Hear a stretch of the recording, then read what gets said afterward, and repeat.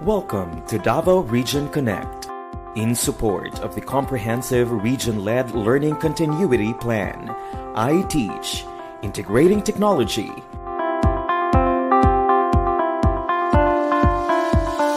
academic community, and the household. Ensuring every learner is safe and protected anytime, anywhere. Anchored on Sulong Idokalidad, this is DepEd Regional Office 11, delivering quality education across Davao Region.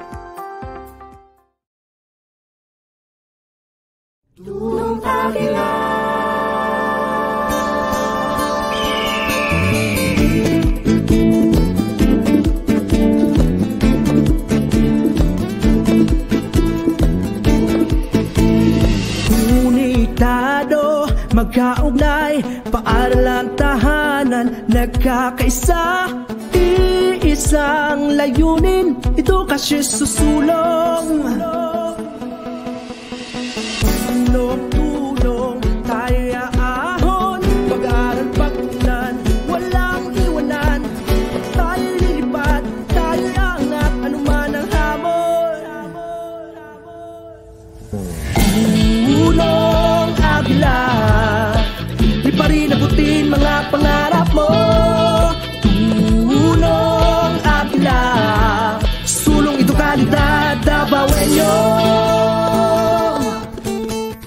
Welcome to Davao Region Dunong Aguila in support of the comprehensive region led learning continuity plan. I teach integrating technology, academic community, and the household, ensuring every learner is safe and protected anytime, anywhere.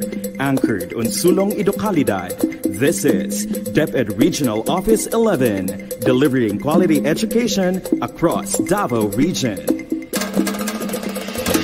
Lumikha ng pagbabago Kaya natin to. Kabataang Davaoenyo Kaya natin to. Tunong agla Liparin abutin mga pangarap mo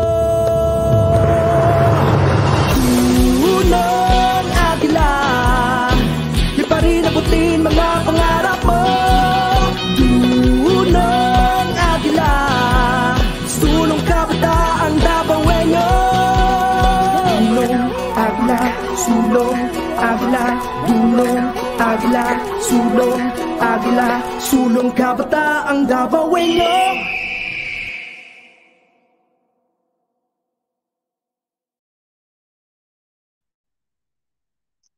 The pandemic has paved the way of incorporating something new and innovative into our educational system. Good afternoon and welcome to Davao Region Connect. We shall now start our activity with our Philippine national anthem.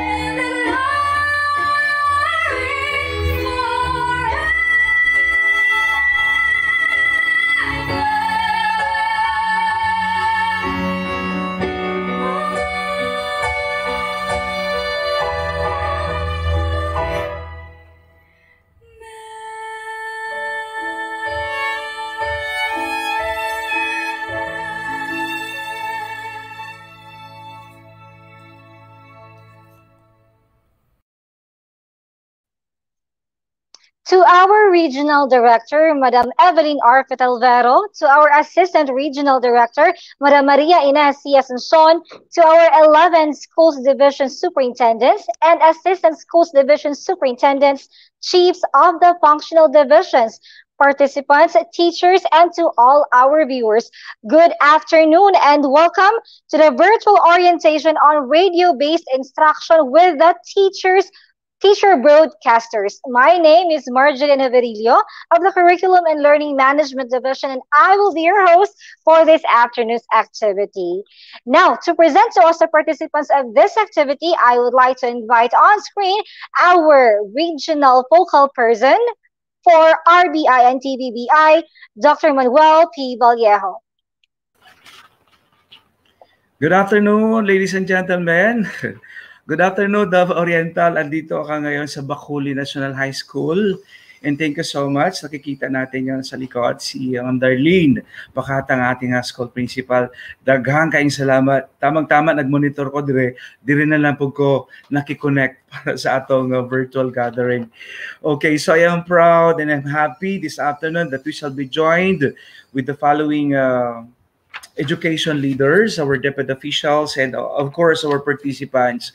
Of course, to our RD, our regional director, Dr. Evelyn Arfit Alvero, SASA 4, uh, ARD, uh, Maria Anesi Asuncion, SASA 5, uh, Dr. Janet uh, G. Veloso, our CLMD chief. Now, the uh, uh, Assistant Coast Division Superintendent of the Division of Davao del Sur, and also my partner, Dr. Mary Jane Mendoza Mejorada, And of course, kauban po nato ang ato ang uh, counterparts sa division of Davao City. We have STS uh, Ria Giliana, ES uh, DS uh, Jinky Ferman, kaya mura po the, siyang natahasa no, sa RBI in the division of Davao City. We also have uh, CID Chief Alma Sifra, Dr. Rene Sultan, may counterpart sa English and uh, Filipino. Uh, ESDS Marilyn uh, Ayan, um, Diduyo.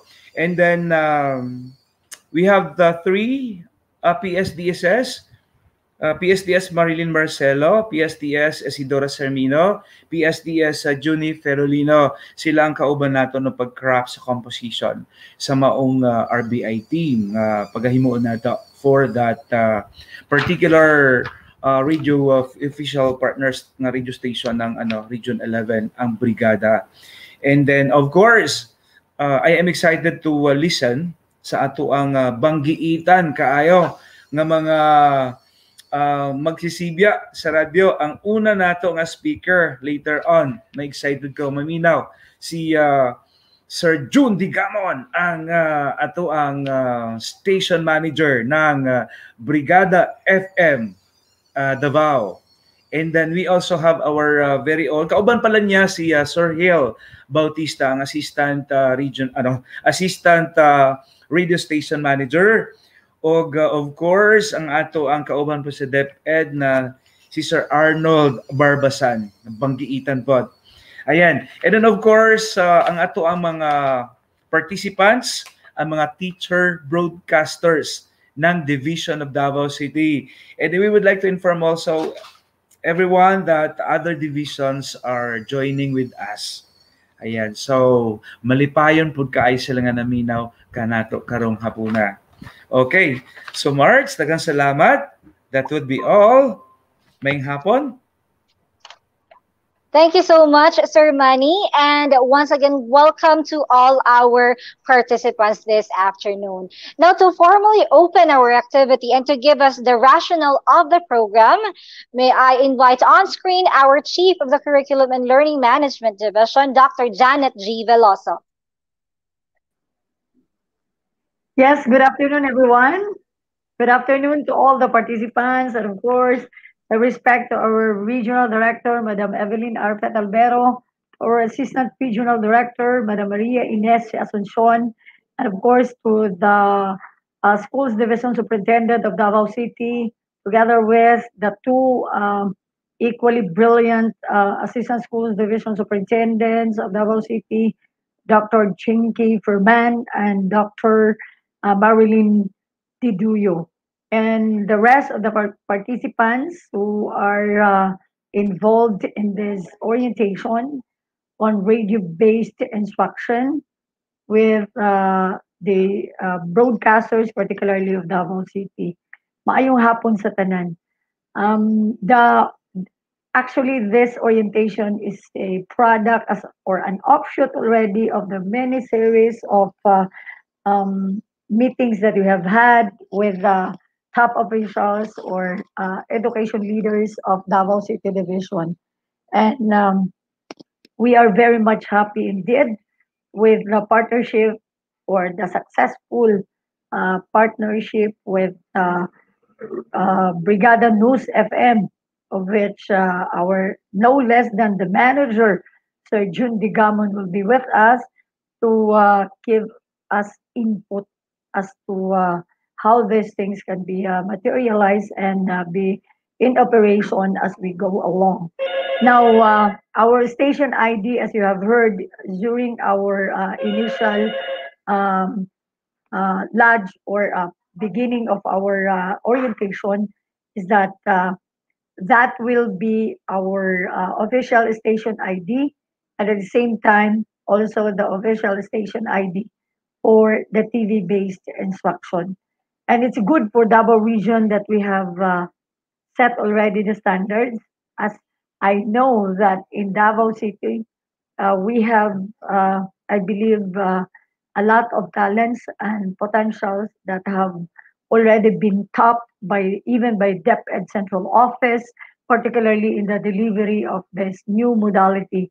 I know that um, in the past uh, meetings that we have had with your education leaders, um, our intention or the main uh, reason that we are uh, gathering you is that we are preparing you for a bigger scale of responsibility that would be for a long-term um, operation of our partnership with all the, or particularly with Brigada News FM.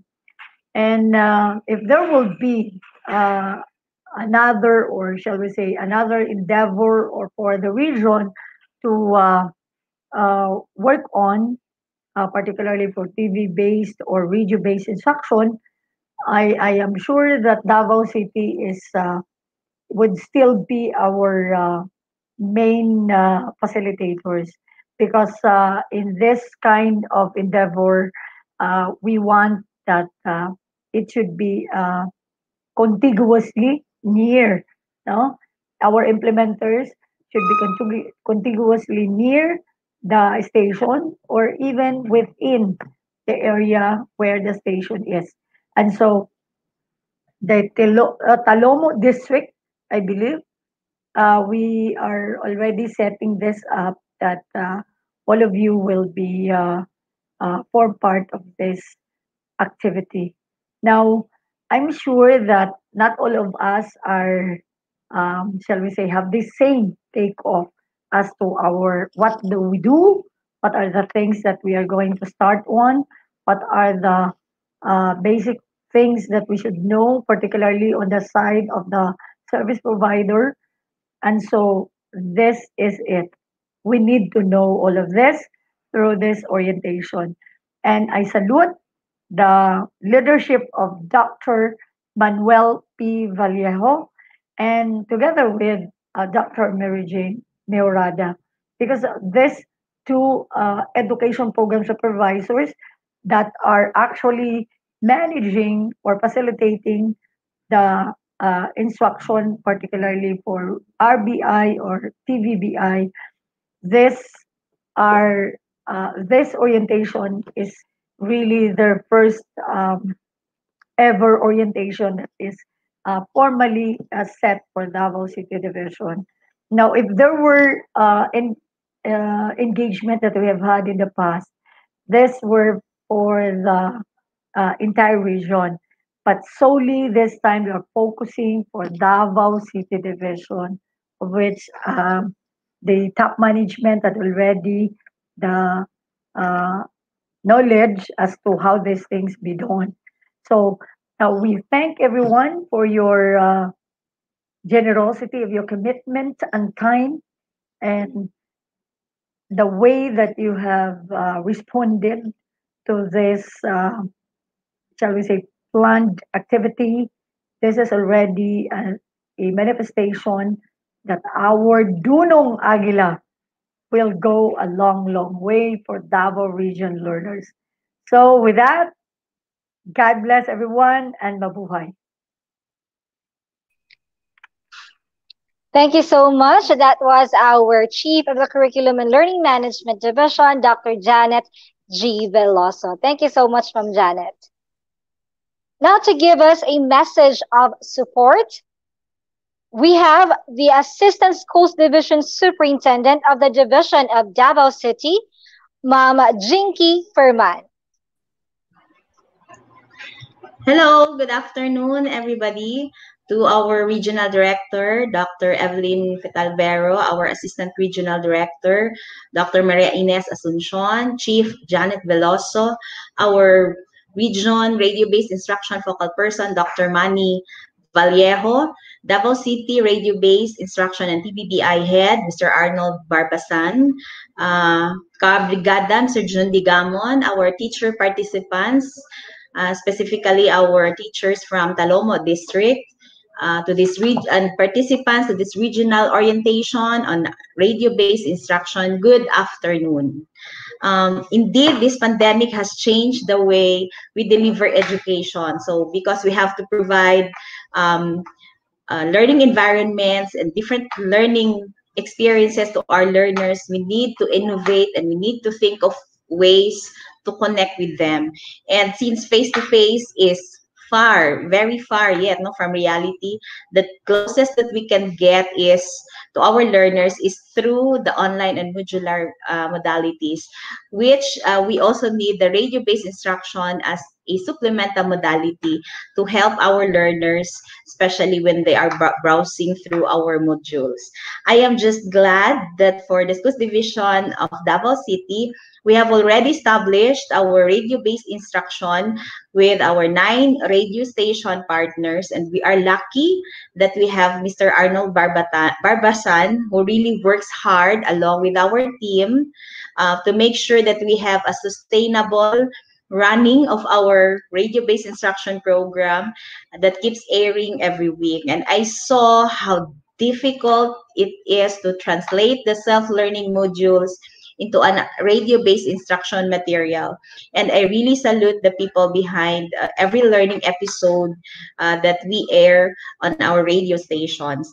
And you know the task from writing the scripts, no, from from the SLMs, you write the scripts and then you uh, edit, do the checking, and then uh, of course we we ask our education program supervisor to check on the contents first and then when it's ready good for recording so that's the next step and then editing again and so on and so forth so that's how our team no has been working so hard uh, through the leadership of our uh, uh, RBI head, uh, TVBI head, Mr. Arnold Barbasan.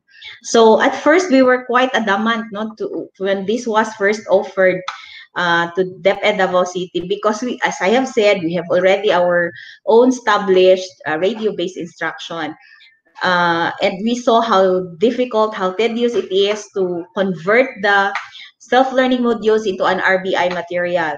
But since it's very clear that um, the the content uh, and the, the the showing no, of or the airing would be managed by the region itself, then our schools division superintendent would like to express also uh, our support no, to this program of the region and make sure that um, our teachers, our, we provide the human resources that our teachers are ready no, from Talomo district to be of service also for the success of this program. Right? So good luck to all our participants. May you have a meaningful engagement and uh, may you be able to also uh, represent Davao City in this uh, notable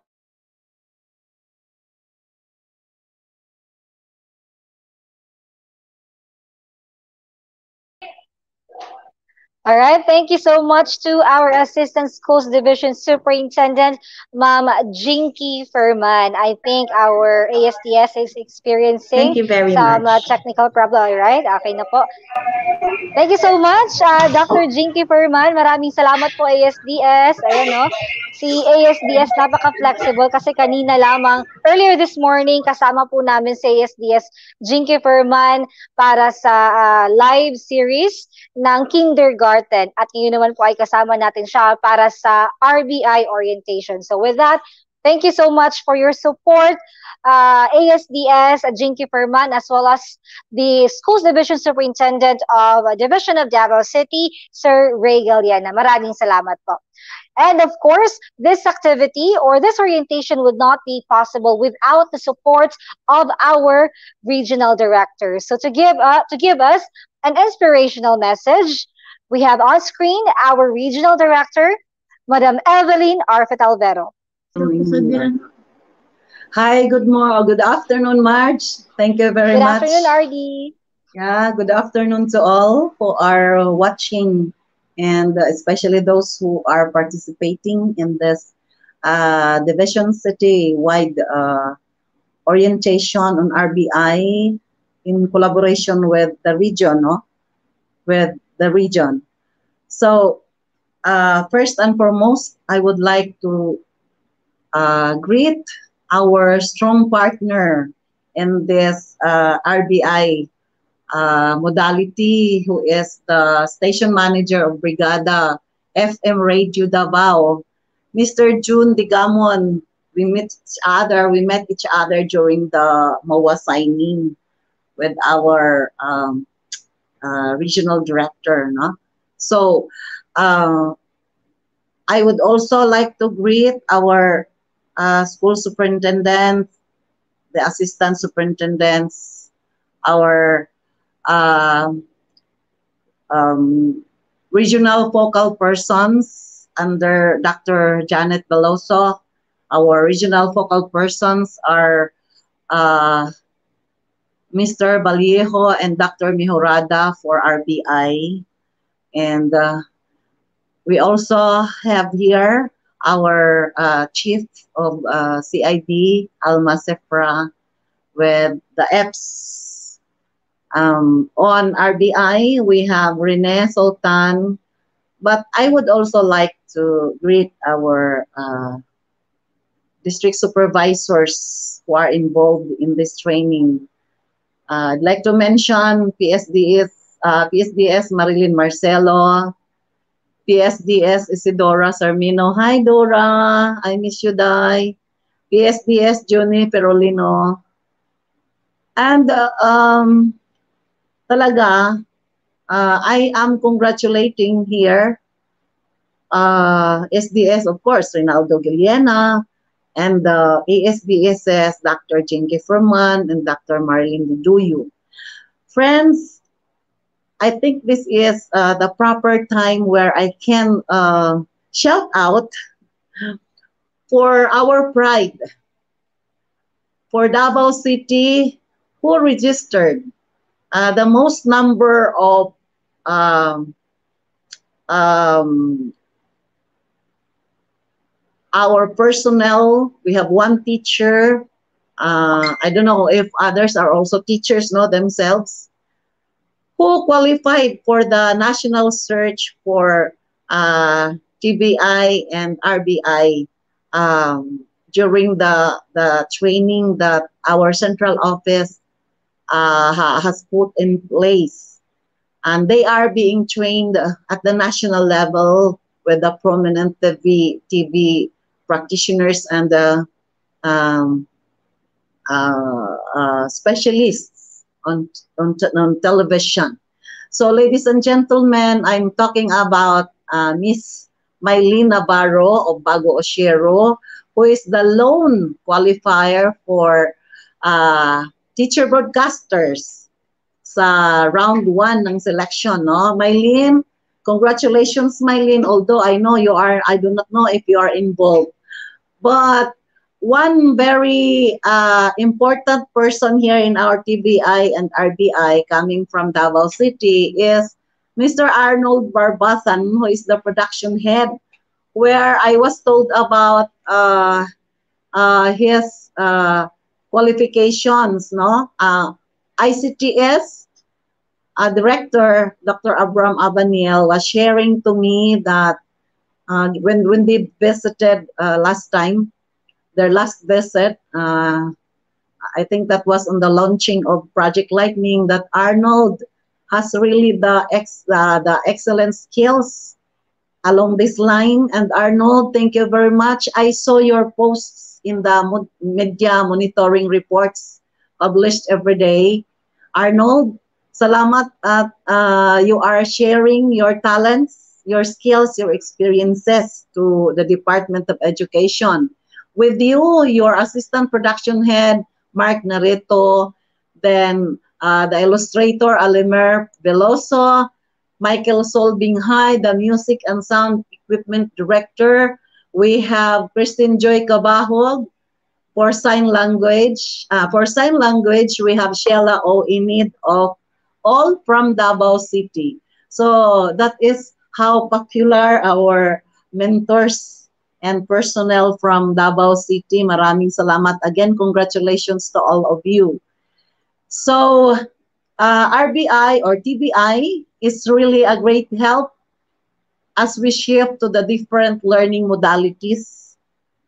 And uh, TV and uh, radio-based instructions are uh, considered as one of the effective media for uh, uh, education to, to continue. RBI is nothing new because for the Department of Education because it's being pioneered uh, by the alternative learning system. But uh, the new media in the form of computers, laptops, uh, tablets, and smartphones have been trending since their availability also. At and it has been part of our system. In fact, yung mga digital, uh, uh, synchronous, synchronous, online, offline are also part of the different learning modalities. But we still cannot ignore that the traditional media such as radio has been our partners in life. When radio was introduced in the Philippines in 1924, it slowly changed our way of getting information and entertainment although it is only pure sound or sound bites only. So, uh, when the first uh, radio broadcast, uh, the, the, the radio, radio uses airwaves which do not use, which do not require internet connection uh, but this is limited. But there are radios that can reach other provinces and remotest areas. Noong panahon ng maliit pa kami, ang source namin ng, ng entertainment are, are radios, no? Uh, radios can be can be uh, using electricity or there are still until now battery operated radio transistors. So it is really possible that a radio broadcast can reach many places. But there is a challenge for radio-based instruction because we know that radio relies only on sound. It doesn't have any visual presentation. It is subject to atmospheric and other interferences. So, so, so that it is highly perishable, yung radio instruction. So it cannot be repeated over and over again. So the learner needs to listen attentively. So uh, please consider these facts as I would like to, to share with you also. That our ears used in listening can only receive 160 words per minute, while the eyes can read up to 1,000 words per minute. What does this mean? Your trainer, uh, Arnold, may explain, or Sir June may explain on this. Did you know that the eyes can see the whole sentence in just one glance, but the ears need to grasp word for word in every sentence? This means the listener should wait until the end of the sentence to get the message. Again, the trainer can share about this. So we need radio scripts before doing broadcasting. And uh, uh, I believe those who are in charge of RBI and TBIs in the Mylins, in the Arnold are into this uh. In the script, it is not only telling the learners about the lesson of the day, but it has to capture also the learner's attention. So that's why the elements of radio, such as human voice, music, sound effects, even silence, should be part of the script. So our radio listeners, who are our learners, create images in their minds with the help of these sound elements. A radio piece makes our listeners or learners imagine But this is highly technical. Uh, sana ma-discuss din ito ng ating mga resource speakers. So what I'm saying is, friends, our beloved teachers who are watching and who are attending this orientation, um, open your heart, open your mind, and uh, be knowledgeable on RBI. Uh, I know that uh, this journey is really not easy, but this is one of the fun field trainings, fun field uh, trainings that our teachers are are to undergo under this new normal. So, ano lang tayo, you enjoy, enjoy the training, even virtually only, and uh, pick up all the learnings because we, you need that to become an effective teacher no, under the radio-based instruction.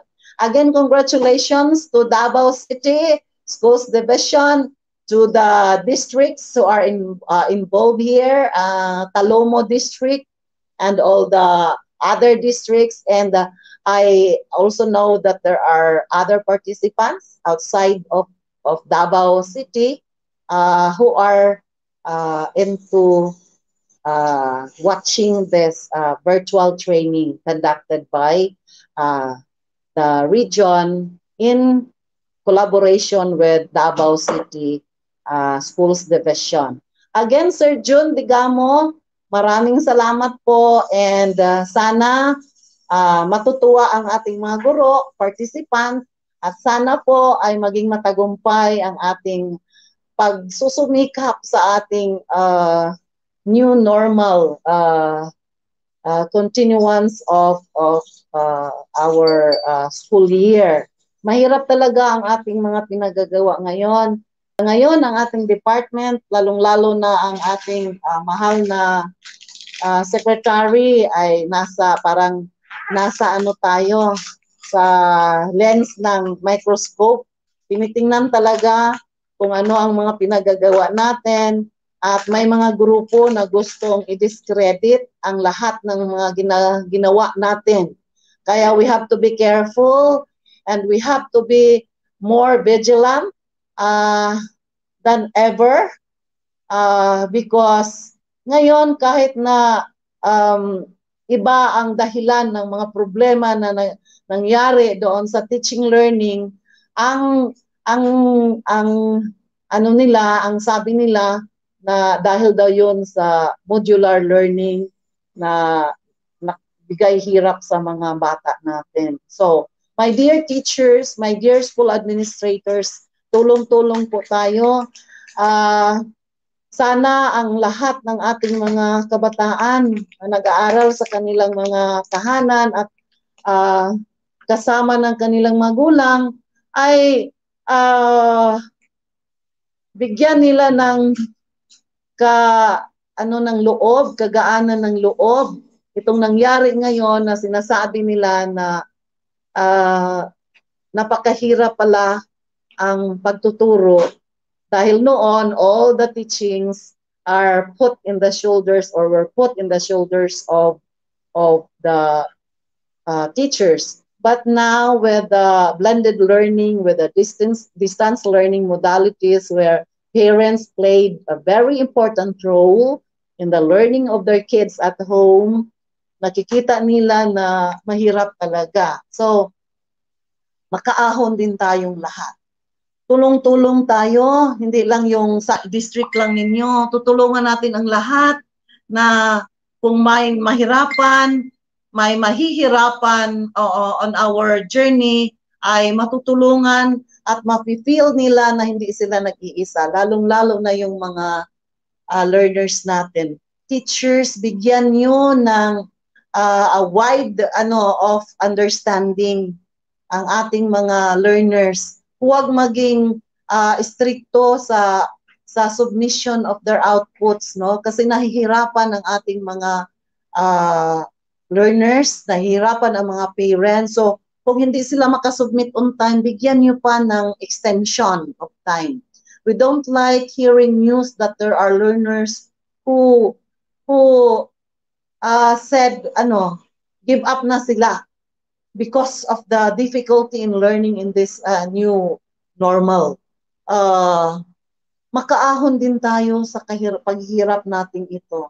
All these things will pass. What is important is we are resilient and we are uh, nurturing each other and we are helping we are helping one another na makatawid tayo sa pandemyang ito. Everything will pass just like uh, what our poor parents, our uh, our people from uh, the past days have undergone. Maitatawid din natin ito at babalik din tayo sa normal na yung pinagkagawian natin. So for now, training lang muna tayo. Kung magkamali tayo, okay lang po yan. Okay lang na magkamali tayo. Yung mga learners natin na uh, sasabihin na hindi talaga sila naka-perform kasi ngayon wala namang periodical exams. Mga ano man lang, mga long quiz lang, walang periodical exams, only performance tasks. Kung mahirapan sila sa kanilang performance tasks, tutulungan ng lahat. Tutulungan din ang mga guro kahit distance learning ang ang ang ano, ang modality, they can still help through uh, other uh, means of of giving uh, professional help. So, ang importante lang is we are open. Ang puso natin ay aalagaan natin. Ang ating mga isip ay aalagaan din natin kasi mahirap na kung iba na ang ating iisipin at yung iba nga na hindi nga na ano ng COVID pero nawawala rin dahil give up sila. Please do not do that, our beloved teachers. And I would like to remind again each and everyone to stay healthy. We must secure ourselves because I know there are some teachers who contracted the, the virus as of the moment uh, masakit sa puso ko with the news na may mga guro na nasakit nasakit at sana ang ang ano ko palagi ang aking dasal na yung mga may sakit sana makabalik sila sa kanilang uh, uh, good health. Sana ang kanilang pamilya din ay hindi magkaroon ng uh, uh, ng virus dahil merong isang membro ng kanilang pamilya ay nag uh, na na contract na infected. So uh, especially our monitors on the field, our supervisors, both in the schools division at saka in in uh, the region, we have to be careful. Lahat tayo alagaan natin ang bawat isa ni, sa dahil ang panahong ito ay hindi po ito karaniwang panahon. Subalit, we have to know that there is someone up there who is taking charge of everything that is happening and that with prayer, maitatawid natin ang, ang panahon ito. So, even with the uh, difficulties, the challenges, with the deficiencies, may mga mali-maling module, okay din lang tayo, okay lang tayo. We will be putting up a, a platform um, uh, called uh, hashtag error watch. Kasi with, uh, gusto nating ma, ma, if there are errors sa ating mga modules, ay mai, mai-correct natin agad-agad at it will not create any confusion sa baba. So yun ang ating target okay lang talaga kung magkamali. Teachers, okay lang po na magkamali tayo. Uh, pupils, learners, our students, okay lang na magkamali. Walang perfecto ngayon dahil hindi natin ito inaasahan na darating ang pandemya. So ang importante mga learners ay you are continuing learning every day na may natutuhan tayo. Kasi pag hihinto kayo sa pag-aaral, ibang usapin na yan you might not go back to school again because you are into doing something that is not preparing you for life. Our lessons are preparing us for life. If we stop educating, if we stop doing the what we are doing now, my dear learners, my fellow teachers, malaki ang mawawala po sa buhay ng ating uh, mga anak, ng ating pamilya, ng ating sambayanan at ng ating bansa at ng buong uh, sanlibutan. Believe me. So, kahit nanghihirap tayo sa pag-aaral ngayon, okay lang yan kaysa walang pag-aaral na nangyayari.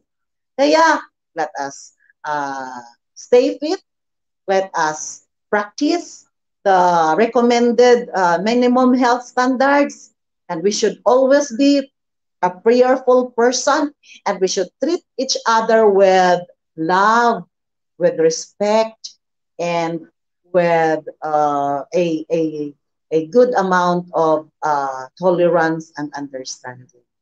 Thank you once again, and God is always praised.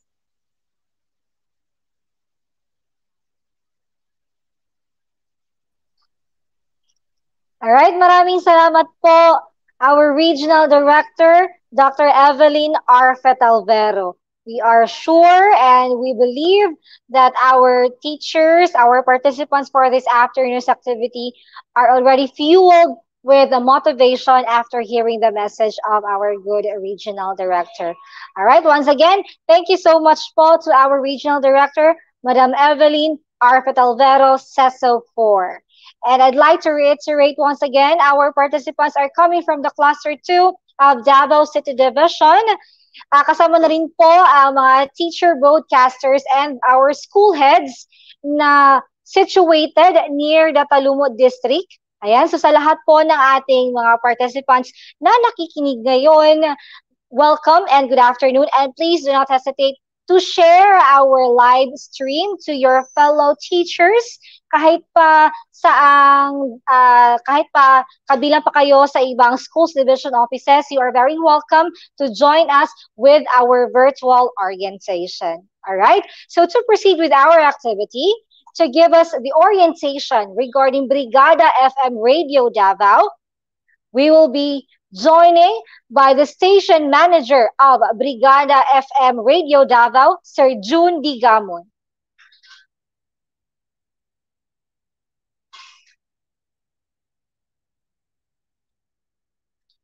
Hello, sir. Good afternoon. Yes, nakamute pa po kayo, sir.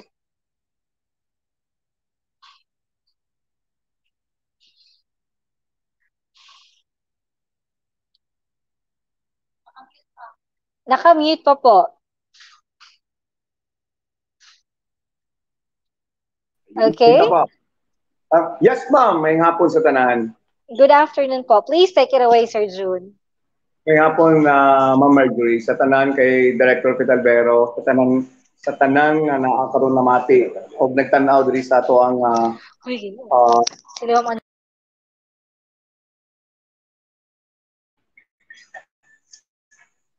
uh, sa itong programa karong nga hapon na na kuan lang ko na opo. Eh, yes ma'am. I'm sorry akin ah, ay nagtawag before anything else before ko magsugod sa akong program na ko ko nagyo naman nun uh, always give ko nga mag say thank you to the Lord. Thank you kay nakamatap ako. Thank you kay uh, maayo akong lawas. Thank you kay makahuna-una pa kong sakto thank you kay in 24 hours protected ko by God, by Lord God na na mahimo pa na ako. Sirs, uh, kauban ko din ako ang akong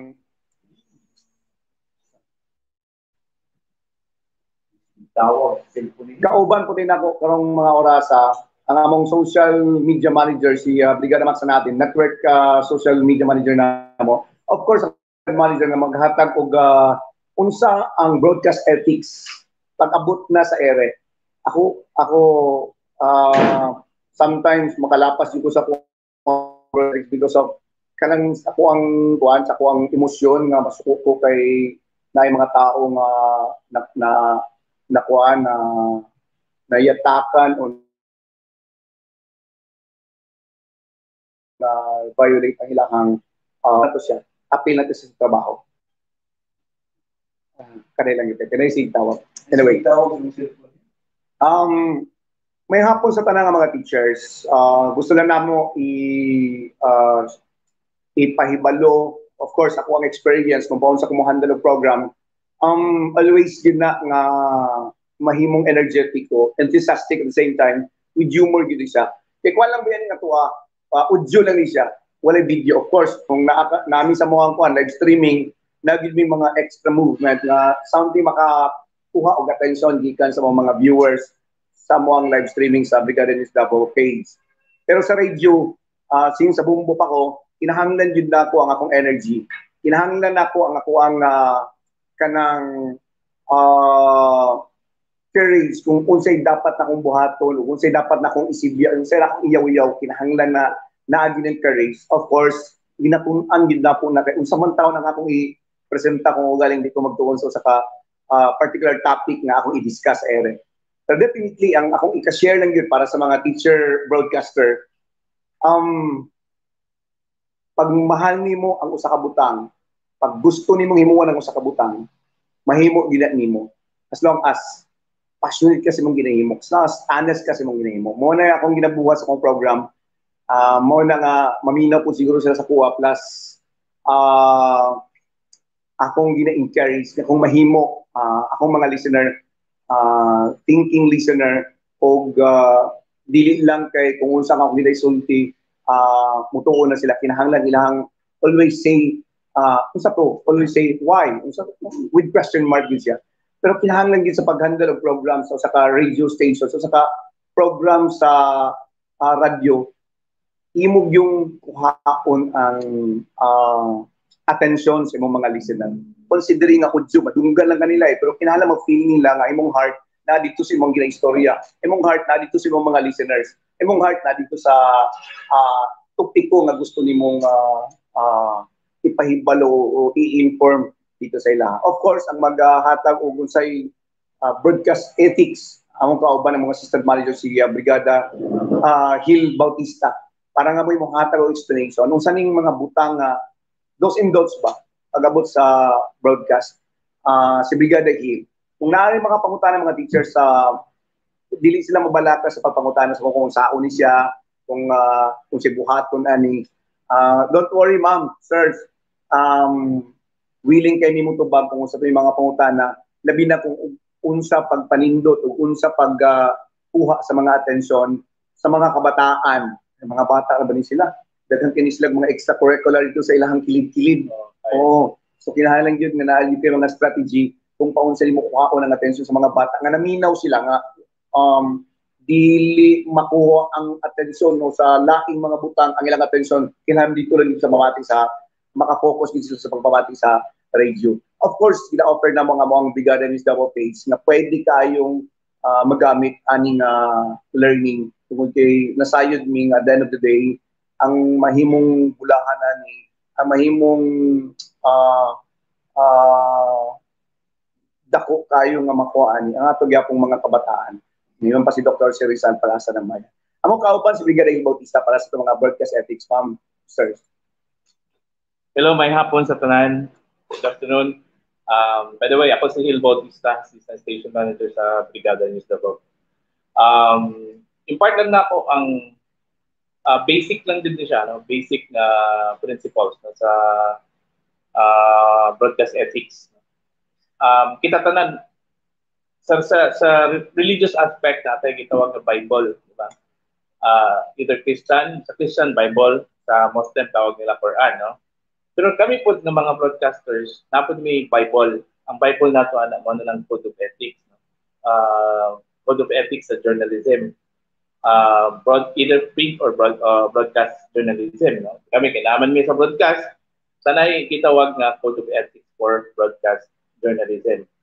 Yeah, sa uh, Code of Ethics sa broad, uh, broadcast journalism na kitawag na five principles, basic principles unsa man siya mga basic principles. Actually mao ni siya ina na mo gina gabayan na mo ni everyday sa mo ang trabaho as broadcasters. First, ang first na principle nga uh, ina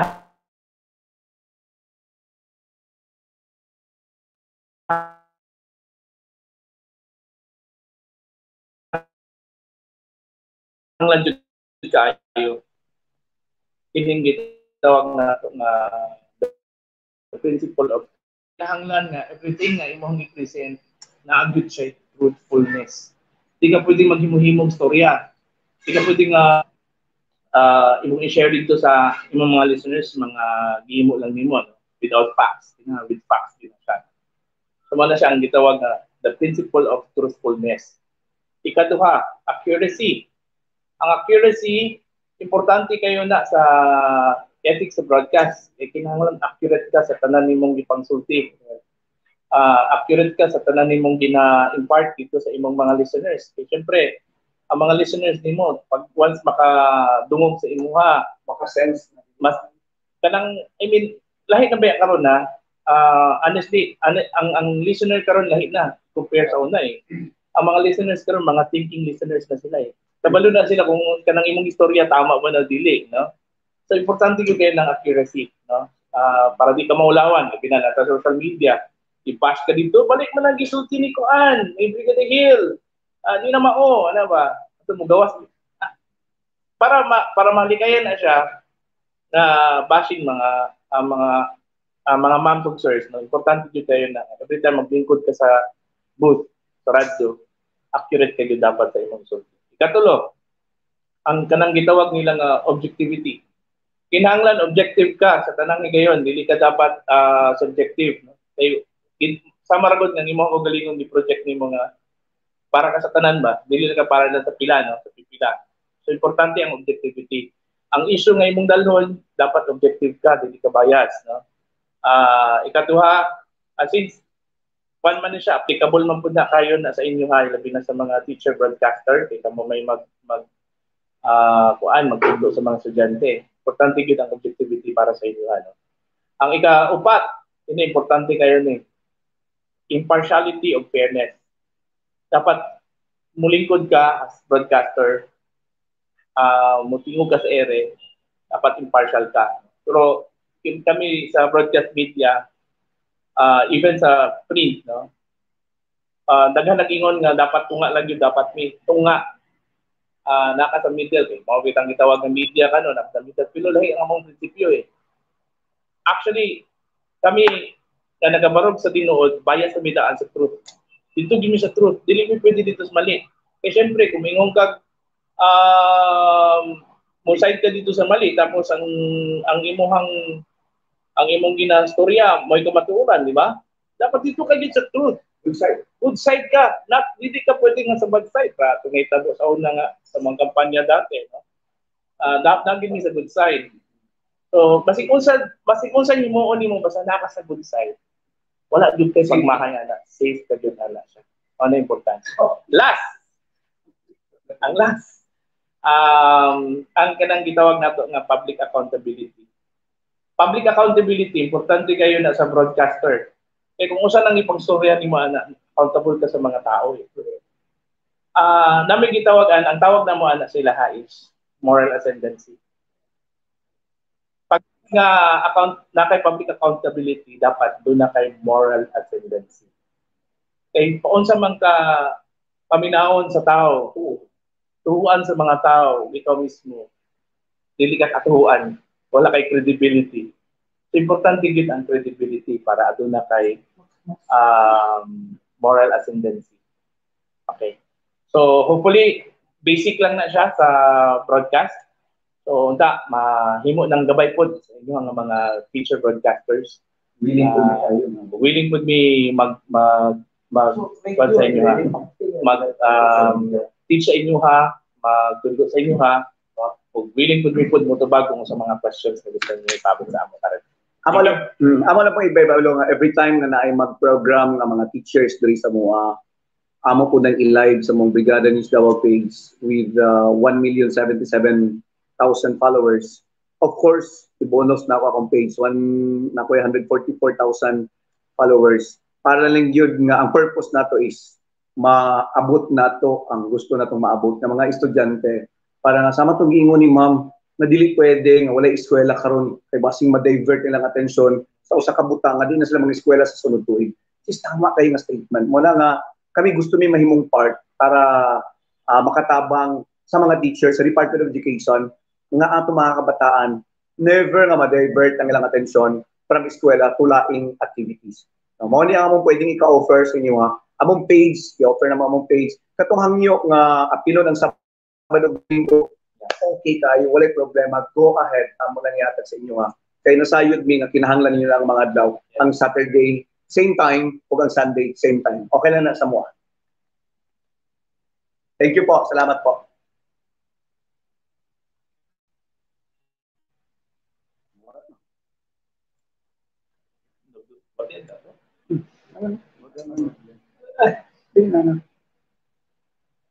Hello po. Live pa man, no?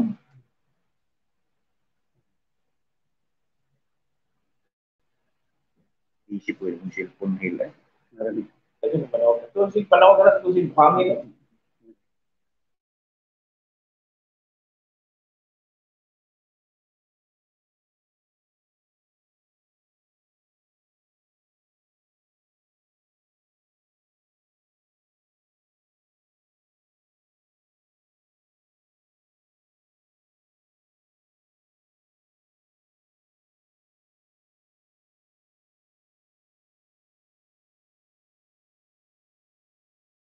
Kinder.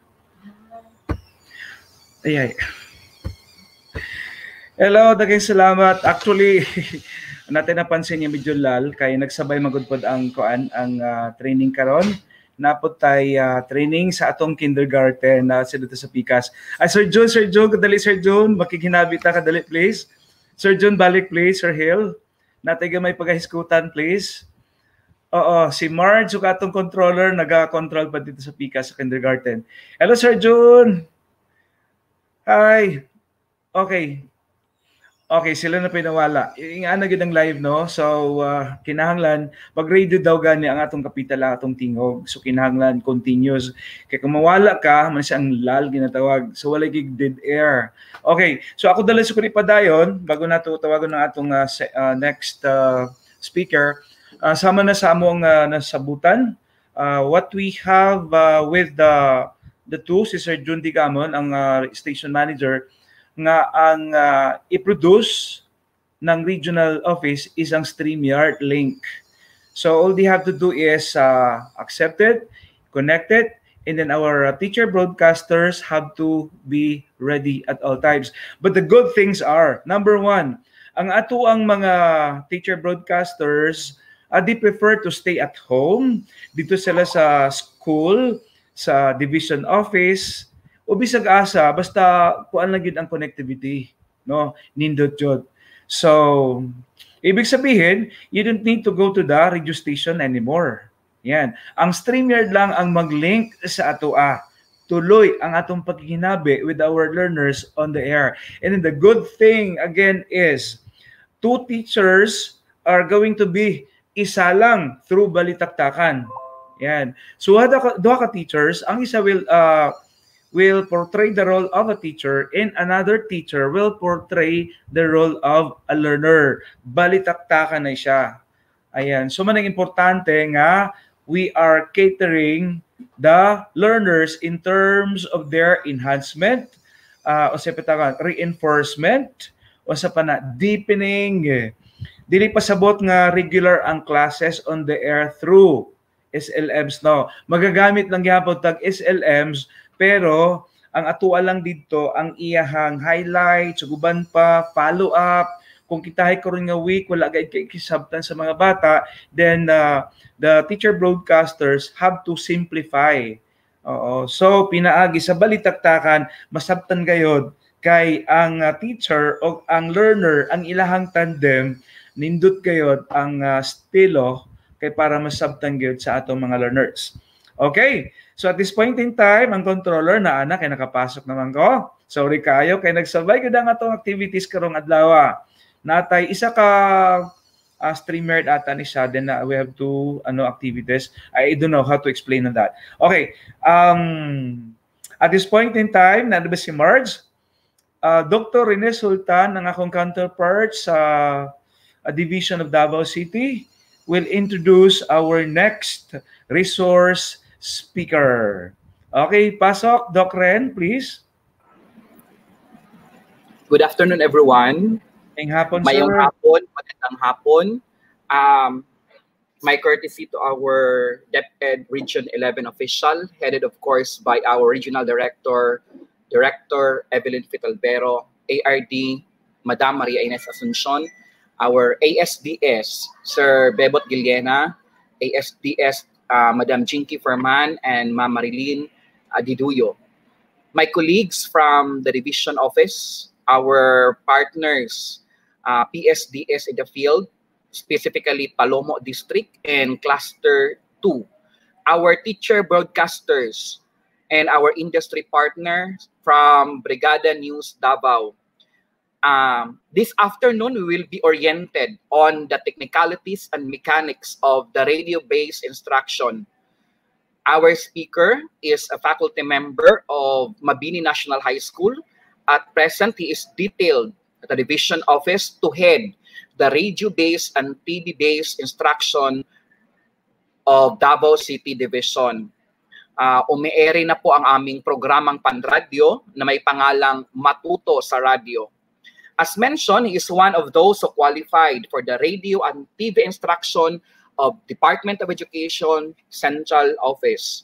Teacher broadcasters, colleagues, let us welcome one of our speakers, Mr. Arnold Barbasan.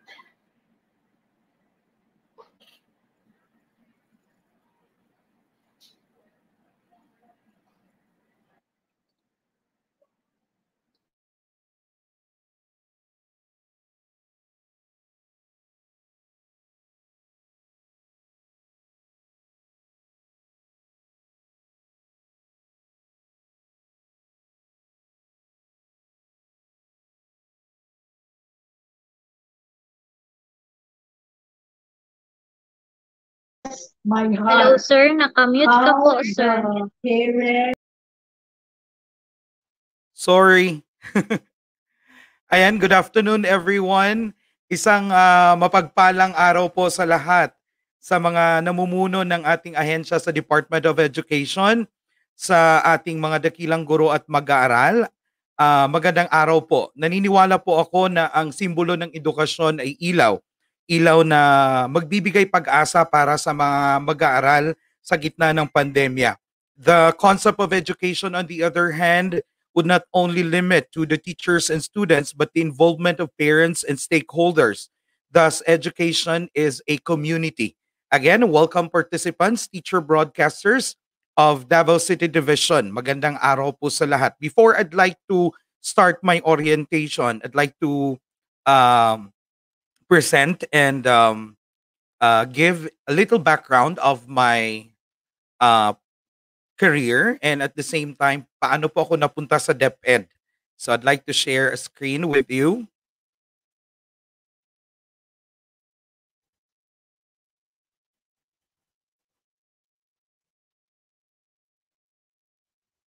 Ayan.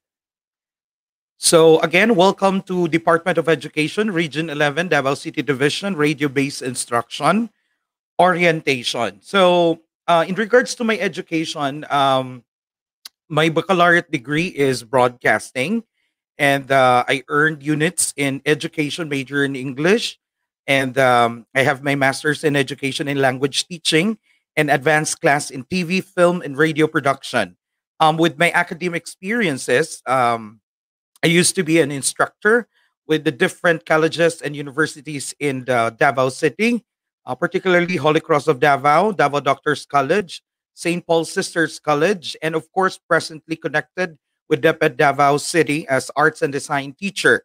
With my media industry um, experiences, I used to be a columnist with uh, Mindanao Journal, Sunstar Davao as an investigative reporter, producer and writer for GMA Network, news correspondent for TV5, and the radio personality and voiceover of UMBN Network 95.5 Hit Radio and 92.3 Wild FM. And um, former station manager of Aliu Broadcasting Corporation, South Central Mindanao, Home Radio DWIC, and News Bureau of CNN Philippines. So, isa pong napakagandang araw po para sa ating mga teacher broadcasters. Ano po ang uh, uh, masubaybayan natin ngayong hapon na to? Of course, pag-uusapan natin yung tinatawag na radio-based instruction. Uh, when we speak about radio broadcast programming, dalawa lang po yun. Ito po yung FM and AM. Okay? FM is frequency modulation broadcasting fidelity. Okay? Gamit yung yung hangin. Okay? And then the AM is the amplitude broadcasting gamit yung wave. If you can see on the screen right now, makikita natin above the waves and fidelity ay yung signal. Kaya halos lahat ng radio stations na transmitters ay nasa taas nakalocate if FM siya. Pag AM station naman, nakalocate siya sa tabing dagat kasi nga may wave. So that's a very technical um, concept about FM and AM programming or broadcast programming. Now, let's move on to the radio formats of uh, FM and AM. May mga iba't ibang programa po or formats ang nasa radyo. Ito yung news and public affairs. Ito po yung ginagawa ng Brigada News FM, radio, news and public affairs with music. Meron din tin- tinatawag tayong drama, merong radio imaging or commercials, and ito yung pinuproduce natin ngayon sa DepEd na educational programs through radio. Okay? Now, when we speak about radio programming, may sinusunod tayong program clock ang program clock po ay napaka-importante sa lahat ng mga nakikinig dyan because hindi ibig sabihin na nagsisimula na tayo sa programa sa radyo, yun na.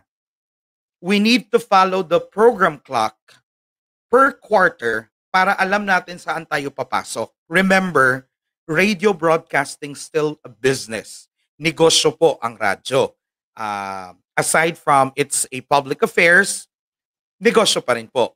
Ang bumubuhay po sa isang istasyon ay mga commercials. That's why we need to follow the program clock para may window ang ating mga commercials saan siya ilalapat.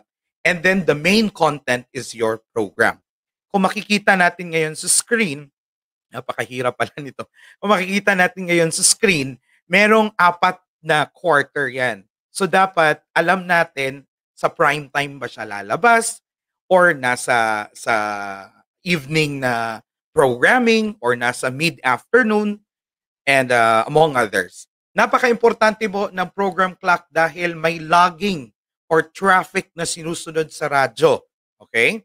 We need to follow these um, sequences for us to know ano ang ang ang sunod-sunod, no? Ano yung yung sequences ng programa mo at paano ilagay yung commercials. Now, there are two two types of or kinds of educational radio programs meron tayong tinatawag na canned, okay? And meron tayong tinatawag na live bantering, okay? Ang canned is recorded and live bantering is yung yung tinatawag nating balitaktakan o yun yung pinakauso ngayon na teleradyo. Canned, it's more on uh, orchestrated type of programming kasi na-edit na siya eh when you say about um, live bantering, hindi siya edited. So dapat alam mo ang content na pinagsasabi mo sa harap ng mikropono para mak- ikaw mismo maku-QA mo kung tama ba ang pinagsasabi mo. Remember, what you're doing um, with Brigada is a live bantering. Hindi siya canned. Okay? So ang mangyayari niyan, you need to be good when it comes to your craft from A to Z. Napaka-importante po na alam mo yung module mo. Remember, ang self-learning module ni teacher ay isang Biblia. Guide nyo po yon. Hindi po ibig sabihin lahat ng content sa module, yun yung babasahin mo. You need to be creative pag nasa radyo tayo. Bakit? Dahil nga, ikaw ay teacher broadcaster hindi ka reader, broadcaster ka. When you broadcast something, you extend, you explain, and you stretch the concept of your content. Same with canned. Sa canned lang, edited siya. Okay? Um, I, I believe pwede siguro tayong uh, uh, tawag dito, uh, makita natin yung tinatawag nating ano ba yon yung yung mga comments no ng FB natin uh, check natin sa mga comments ha. Ayun. Check natin sa comments, medyo wala pa. Okay, so um, pag may meron po kayong uh, meron po kayong uh, gustong sabihin, okay? Uh, pwede po ninyong i uh, i-comment doon sa Facebook. Napakahirap naman ito ginagawa natin. But anyway, this is the new normal education um, isi-share ko sa inyo yung example ng canned, okay? And example ng live bantering, okay? Sige, let's try with the canned. Um, comment lang kayo kung hindi nyo marinig ah, kasi hindi ko din ma-monitor kung naririnig nyo ang audio ko. Sige, let's try this one. This is the canned.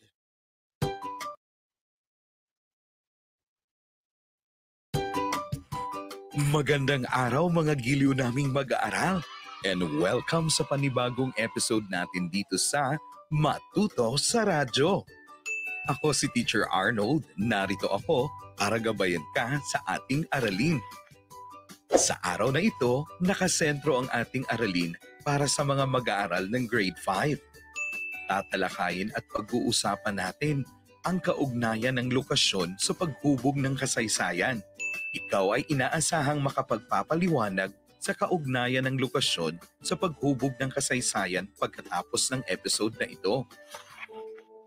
Ang Pilipinas ay matatagpuan sa Timog Silangang Asya. Tinatawag itong arkipelago dahil ito'y binubuo ng mga... Um, sandali lahat, tignan ko muna yung comments kung naririnig nyo yung naka-play dito. A- anybody from the participants who can um, um, who can say that uh, the, the audio is working? Anybody? Sana may makapagsabi, no? Um, anybody from the region who can um, testify that my audio is doing good? Yes. Yes, yes, sir. Yes, sir. Ah, okay, We can okay. hear the audio po. Okay, thank you so much. So kung naririnig nyo kanina, sorry, yung narinig nyo kanina, it's a canned, okay, educational radio program. recorded siya. It's about uh, paghubog ng kamalayan ng uh, Pilipino. It's Aralin Panlipunan. Kung ala uh, kung na-observe ninyo na very um, organized and sequence yung kanyang style of telling the story because naka-edit nga siya. May greetings, may information, may details, and then segue. No? And then, uh, may elements ng effects and then the music background. Okay? Let's try to hear again. Ito, Timog Dagat China o tinatawag ding kanlurang dagat ng Pilipinas sa kanluran. So if you can hear, there is a background of of uh, sea waves. Napakahalaga ang lokasyon ng Pilipinas bilang isang bansa. Ang strategic location nito ay may malaking kinalaman sa paghubog ng kasaysayan. Ang lokasyon ng Pilipinas ay naging bentahe sa mabilis na pag-unlad. So if you can hear, there are different elements of effects to make your um tawag dito, to make your material more enticing to the ears. Remember, radio is a kind of uh, media that you need to create a theater in your mind. Okay? Gumagawa po kayo ng sarili niyong teatro sa utak ninyo upang magkaroon siya ng visuals. Ang radyo po ang pinaka-list na kind of modality ngayon, pero siya din yung pinakamahirap i-produce, especially if it's a canned or recorded, because there are a lot of elements, a lot of things to consider for you to have an effective material for your learners. So yun po yung example ng canned educational radio program or material. Recorded, edited, nilalapatan ng effects, nilalapatan ng bed. Okay? Hindi bed na kama or music bed or background. Sa radyo, tinatawag natin yung music bed. Effects, may standard intro, may um, fade in, fade up, and then fade out sa mga effects na sinasabi natin. Ang live bantering naman po mga kaibigan sa mga nakikinig dyan sa kanilang uh, Facebook. No? Ang live bantering po ay napaka-usual na po ngayon dahil ito po yung kadalasan na ginagawa ng programming sa TV at saka sa radyo dahil nga na-invento yung teleradyo. It's a, uh, in linguistics, we call this one portmanteau. It's a television and radio. That's why we call this one teleradyo. Okay? Live monitoring po, wala po tayong effects doon. May music background, pero hindi po ganun ka-intensifying yung mga music background na ginagamit natin. Ang importante po sa live bantering po is the content. How you deliver the content towards your listeners. That's why napaka-importante po sa isang teacher broadcaster soon na magbo-broadcast uh, with Brigada na magaling talaga sa craft niya. Okay? Especially po ngayon, ang dami pong mga bashers towards DepEd, lalong-lalo na sa ating mga materials dahil nga sa mga pangungutya sa ating modules, dahil sa pangungutya sa ating mga teachers. Remember, ginagawa po lahat ng uh, ng mga bagay, modalities at paghihirap ng ating ahensya para po ma-deliver po sa ating mga learners. Hindi po perpekto ang ating ahensya ginagawa po natin ang pinaka the best na paraan upang ma-reach natin ang mga learners. Hindi po si teacher broadcaster ang sikat dito. Ang sikat dito ang mga learners. That's why we need to center the the the concept of education towards to our learners and the community. Napaka-importante rin po na uh, dapat uh, mabigyan po ng ng value, okay? Sa sa publiko ang paghihirap po ng ating mga teachers. But still, we cannot please everyone because of social media. Uh, napakalawak ng social media at hindi po natin uh, mapipigilan yung pambabash nila dahil nga wala pong filtering sa social media. That's why we need to be good with our craft, especially soon you'll be delivering your lessons uh, live bantering with Brigada. I think Davao would be the second um, division all over the Philippines who will be doing a live bantering or balitaktakan lessons. I think first is Masbate. um, among the radio stations in Masbate, um, nag-allot sila ng to, to two hours or three hours yata every day sa lahat ng mga stations at pupunta ang mga teachers doon at magkaklase sila. Live talaga magkaklase. But in a live bantering, dapat magaling talaga magdala ng programa ang isang teacher. Hindi malamya, uh, dapat uh, snappy, ganon. So, hindi naman natin uh, makukonsider lahat ng teachers dahil nga iba-iba uh, ang ating mga teachers. So, uh, iilan lang ang pwede talagang magkaroon ng chance to do the live bantering or uh, live broadcast. Pakinggan po natin ang isang live bantering program sa radyo at uh, i-compare natin sa canned or recorded and yung live bantering. Listen to the material.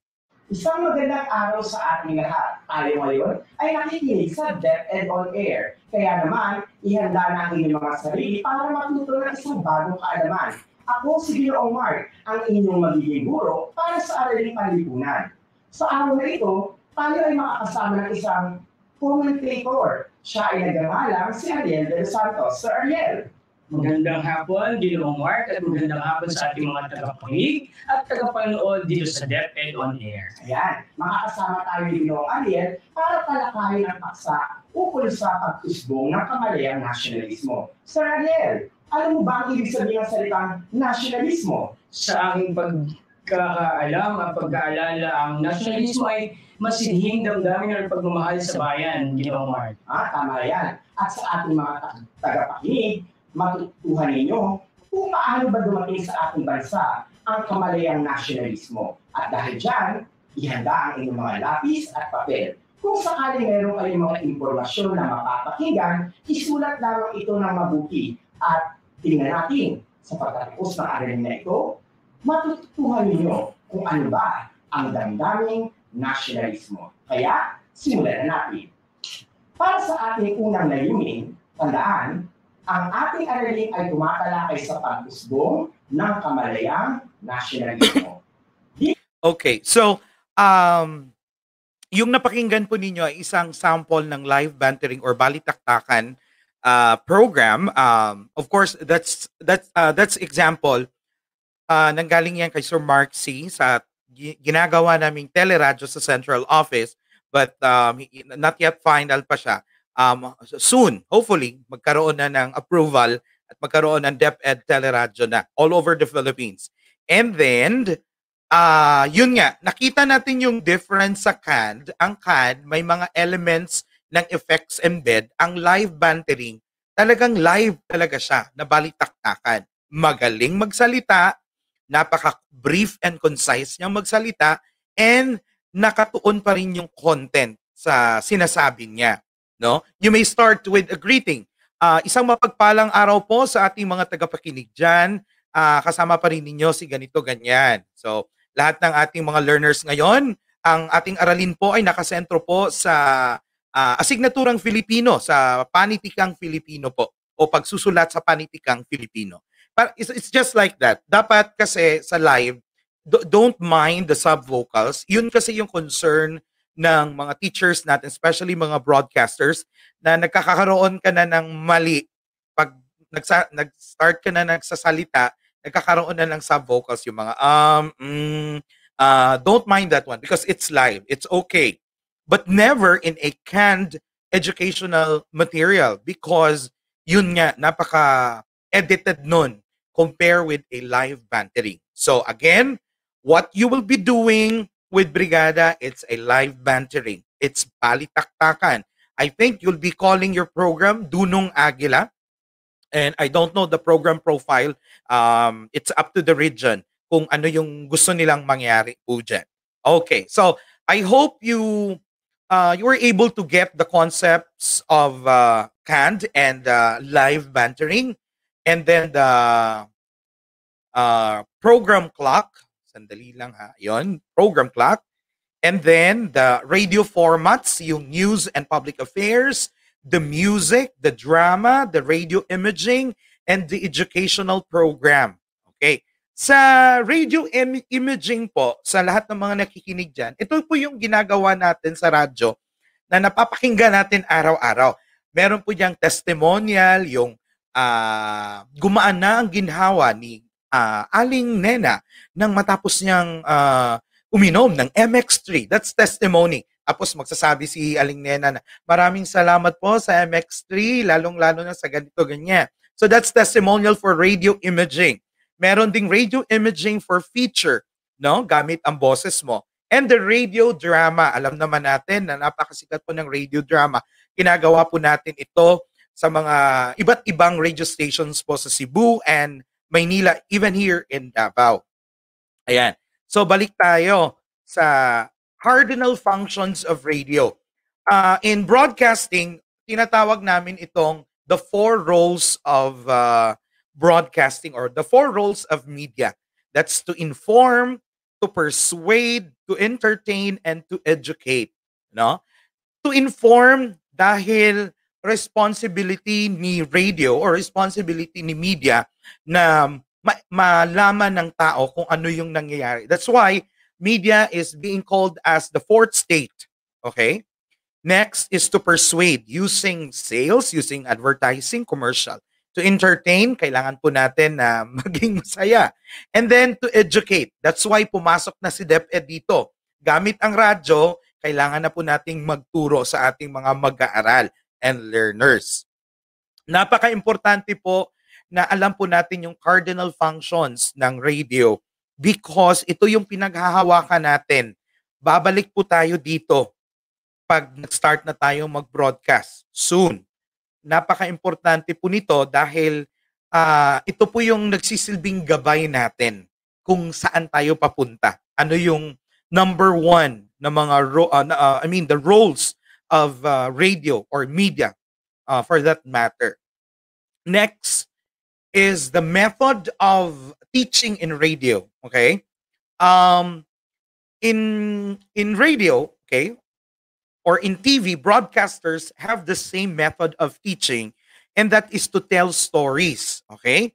Uh, we tell stories about values, we tell stories about knowledge, we tell stories about rags to riches, we tell stories about micro stories. Napaka-importante po ng uh, konsepto na ito na ang mga broadcasters and media practitioners and teachers, we do have the same method of teaching and that is to tell stories.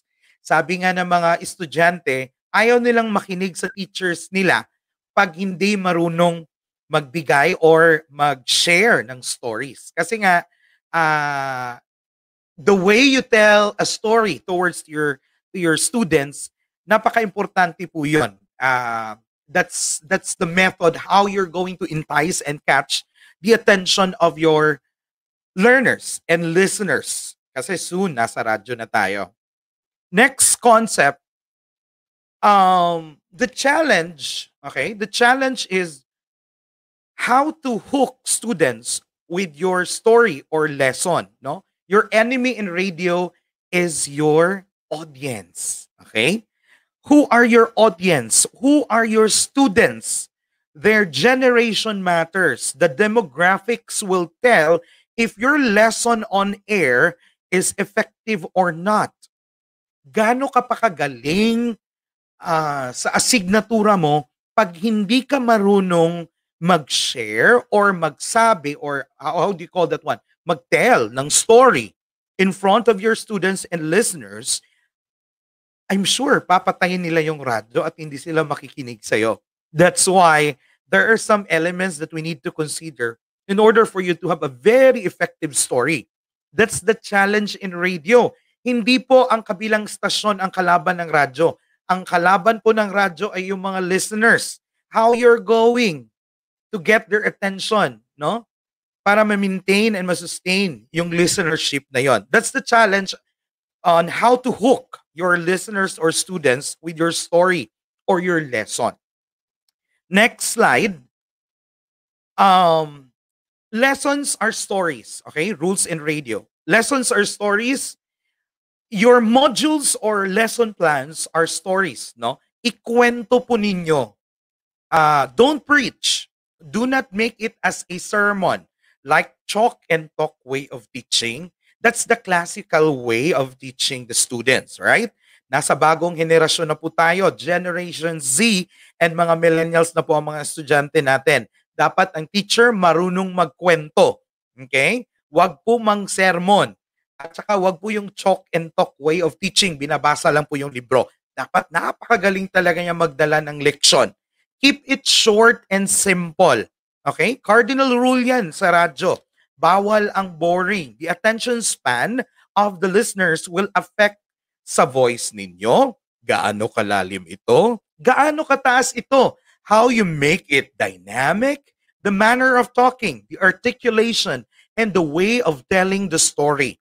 Articulation, pronunciation is very, these are, are elements na napaka-importante po. Kailangan po na maging, hindi naman hindi naman baguhin mo yung yung accent mo, but you need to make it neutral. Remember, teacher po kayo, you are teaching uh, a certain subject, example English, dapat tama naman po yung pagka-articulate natin at pagka-pronounce para makopya ng bata. Remember in education, our educators, alam niyo alam po ninyo yung yung concept ng assimilation and accommodation. Ang bata po, meron na po yung prior knowledge. Pag sinabihan mo siya ng isang konsepto or knowledge, alam niya paano yan i-accommodate at i-accept sa mind. Kaya nga may assimilation and accommodation sa teaching ng ba, sa teaching towards sa bata. Kailangan talaga lahat ng sinasabi ni teacher tama at na QA. That's why articulation is very important and the way of telling the lesson. Um, one example that I can share when you are teaching over the radio is uh, reading. Napaka-importante po ng reading, concept of reading. Why? Napakataas na po ng porsyento sa Pilipinas ang mga non-readers. Nasa dokumentaryo po yan ni Cara David. At uh, alam po natin lahat yan. Ang daming sinisisi ang mga elementary teachers, ang mga high school teachers, senior high school teachers. Ang daming sinisisi, sinisisi ang ahensya. Pero huwag po nating kalimutan na ang konsepto po ng edukasyon ay isang community. Involved po ang parents dito. Pag uwi ng bata sa bahay, dapat kinukumusta talaga ng parents kung saan na yung anak niya. And going back to the concept of teaching reading over the radio, in TV, when we teach alphabet, we tend to say it A, B, C, D, right? With the sound, especially in kinder and grade one. But in radio, you cannot say letter A, okay? You need to to um, apply the marunko, marunko style of teaching reading yung mga majoring linguistics, majoring in um, language teaching, alam nyo itong marungko style of teaching. When you say a, you say it a, b, b, k, k. Para malaman ng bata, ano yung sound na yun at makreate niya yun yung concept sa mind niya. Remember, nasa radyo tayo, wala po tayo sa television. Sa radyo, napakahirap pong magturo ng kulay. How you're going to teach colors for this toddlers, I mean, for these uh, kinder students, napakahirap po. The concept of pula, paano po ituro yung pula sa mga estudyante. Now, it's time for you, for the teacher broadcasters, uh, paano maging creative siya. You relate the color yung sa bagay na nakita niya na noon. Example, ang pula ay kasing kulay ng rosas na nakikita mo sa hardin ng nanay mo. Ang asul naman, mga bata, ay kasing kulay ng dagat nung, nung uh, naligo kayo ng tatay mo. Parang ganun. Ang, ang asul ay kasing kulay ng ulap tuwing hapon na nakikita mo sa taas ng bahay nyo. Parang ganun. So, by, by doing the, the that that um, technique, nire-relate mo yung konsepto ng kulay sa mga bagay na meron ng prior knowledge yung bata, nako-connect ngayon yung tinatawag nating knowledge or yung konsepto nga ng lesson. So napaka-importante po nun. Ah, wala pong face-to-face ngayon. But pinaghirapan po ng DepEd na ma-strengthen yung radio-based instruction natin, lalong-lalo na sa Davao region na ang daming mga learners na nakasituate sa malalayong lugar at maaabot lamang po ng radyo.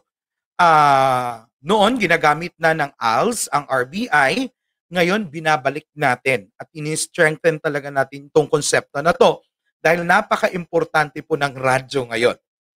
Again, lessons are stories. Keep it short and simple. Um, number three that I'd like to share with you, show, don't tell. Okay, what does it mean, show, don't tell? In radio, you need to, to describe, okay, relate, create a theater in the uh, in their minds.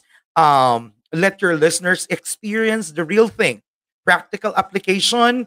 How will you teach math, history, and values through context, uh, contextualization and localization using radio? Paano po magturo sa history?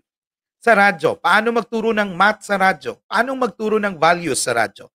So yun yung mga challenges na nakakam come across natin when we are teaching in radio. But sa pamamagitan ng creativity ni teacher, uh, nalalampasan po natin itong uh, mga challenges na to. In radio, ang pag-describe ay napaka-importante po. Even if you are a radio reporter and you are giving a nurse, okay, we call that in media nurse or situationers sa isang sunog. Okay, nasa radyo ka, nasa linya ka, and then merong host sa station, example, uh, ganito. Uh, okay, uh, makakasama natin mga kaibigan si Arnold na na sa isang sunog ngayon. So Arnold, uh, ano po yung current situation diyan? So it's it's your it's your um, creativity now on how to describe the situation. Uh, ilan yung tao, ano na talaga yung nangyayari, so that the listeners will feel the real thing habang nakikinig siya. Nadi-describe na niya sa mind niya kung ano yung nangyayari. Next is hook your audience. Ano yung hook your audience? Okay?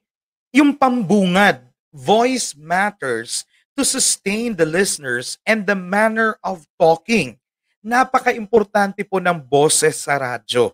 Okay? Because the voice will be your audio identity. The people will listen you again and again because of that voice. Noon, nung nag-DJ DJ pa kami, ang boses ay napaka-importante. Palakihan ng boses, pagandahan ng boses, pero ngayon sa Generation Z and Millennials, wala na pong ganong sukatan. Wala na ganong measurement. Dahil nga ngayon, ang importante is how you make your pambungad and voice matters. Hindi na po pababaan, pataasan at how you modulate it. Next is the viral. Ano po itong tinatawag nating viral? Okay? Ang viral is the method of teaching what can sustain the listenership? Ano yung pinakasikat ngayon? You relate to that. Because ang nakikinig sa'yo, bata, Generation Z and Millennials, yan, the, the listenership span nila, no? the attention span nila, hindi ganun kahaba. Kasi nga, ang bata ngayon, multitasking. Habang nagbabasa, kaya nilang makinig. Okay? So, The new method of teaching, what can sustain the listenership is yung nakikita nating viral. Kailangan ma-relate po ninyo yan. Mga teachers natin na magiging teacher broadcaster soon. Next is content is the key, but presentation makes perfect. In radio, we tell stories through description, music bed, effects, voice dynamics, and facing. Okay? Ang content pa rin po ay napaka-importante pero mas importante din how you present it. Kaya nga, ginagamitan natin ng facing, voice dynamics, effects, and music bed. Ang facing, paano mo basahin? Paano mo ikwento? Paano ka, saan ka magpupos? Okay? When you are telling the content. Napaka-importante po nun. Kasi nga, nasanay si teacher na um, nagkaklase inside the classroom na uh, very monotonous sound, di ba? Kasi sanay talaga tayo ganun inside the, the four corners of our classroom. But ngayon, gagamitan na natin siya, injectan na natin siya ng mga elemento, bagong elemento para magkaroon ng buhay. Because this is the new normal education gamit ang radyo at TV. Our mother station is DepEd TV Channel 13 and other cable networks like Solar Learning, Signal, GMA for the Box, among others. And then, para ma-strengthen yung ating mother tongue and other modalities in region and division. Uh, nag-implement po tayo ng RBI and soon we'll be having a TVBI localized din sa Davao City. Pero ngayon, i-utilize natin yung konsepto ng radyo no sa pagtuturo para sa ating mga kabataan dahil nga uh, ito yung tinatawag nating the new uh, normal education. So, I'd like to stop my sharing. Ayun. So, balik tayo. Okay.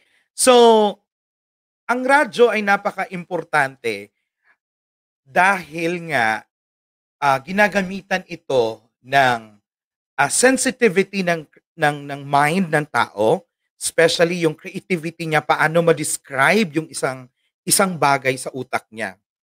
Napaka-importante ng radyo because ito yung pinaka-least. Ito yung pinakamura at libreng modality, okay? Or medium para sa mga learners natin. Especially ang Brigada News FM napapakinggan all over the world. No? Meron pang, uh, anong tawag doon? Meron silang page, FB page, na almost, uh, I mean, more than a million. And then si Mr. Jundi Gamon din ay meron siyang mga followers. So it's your chance na magturo sa radyo para sa ating uh, mga learners.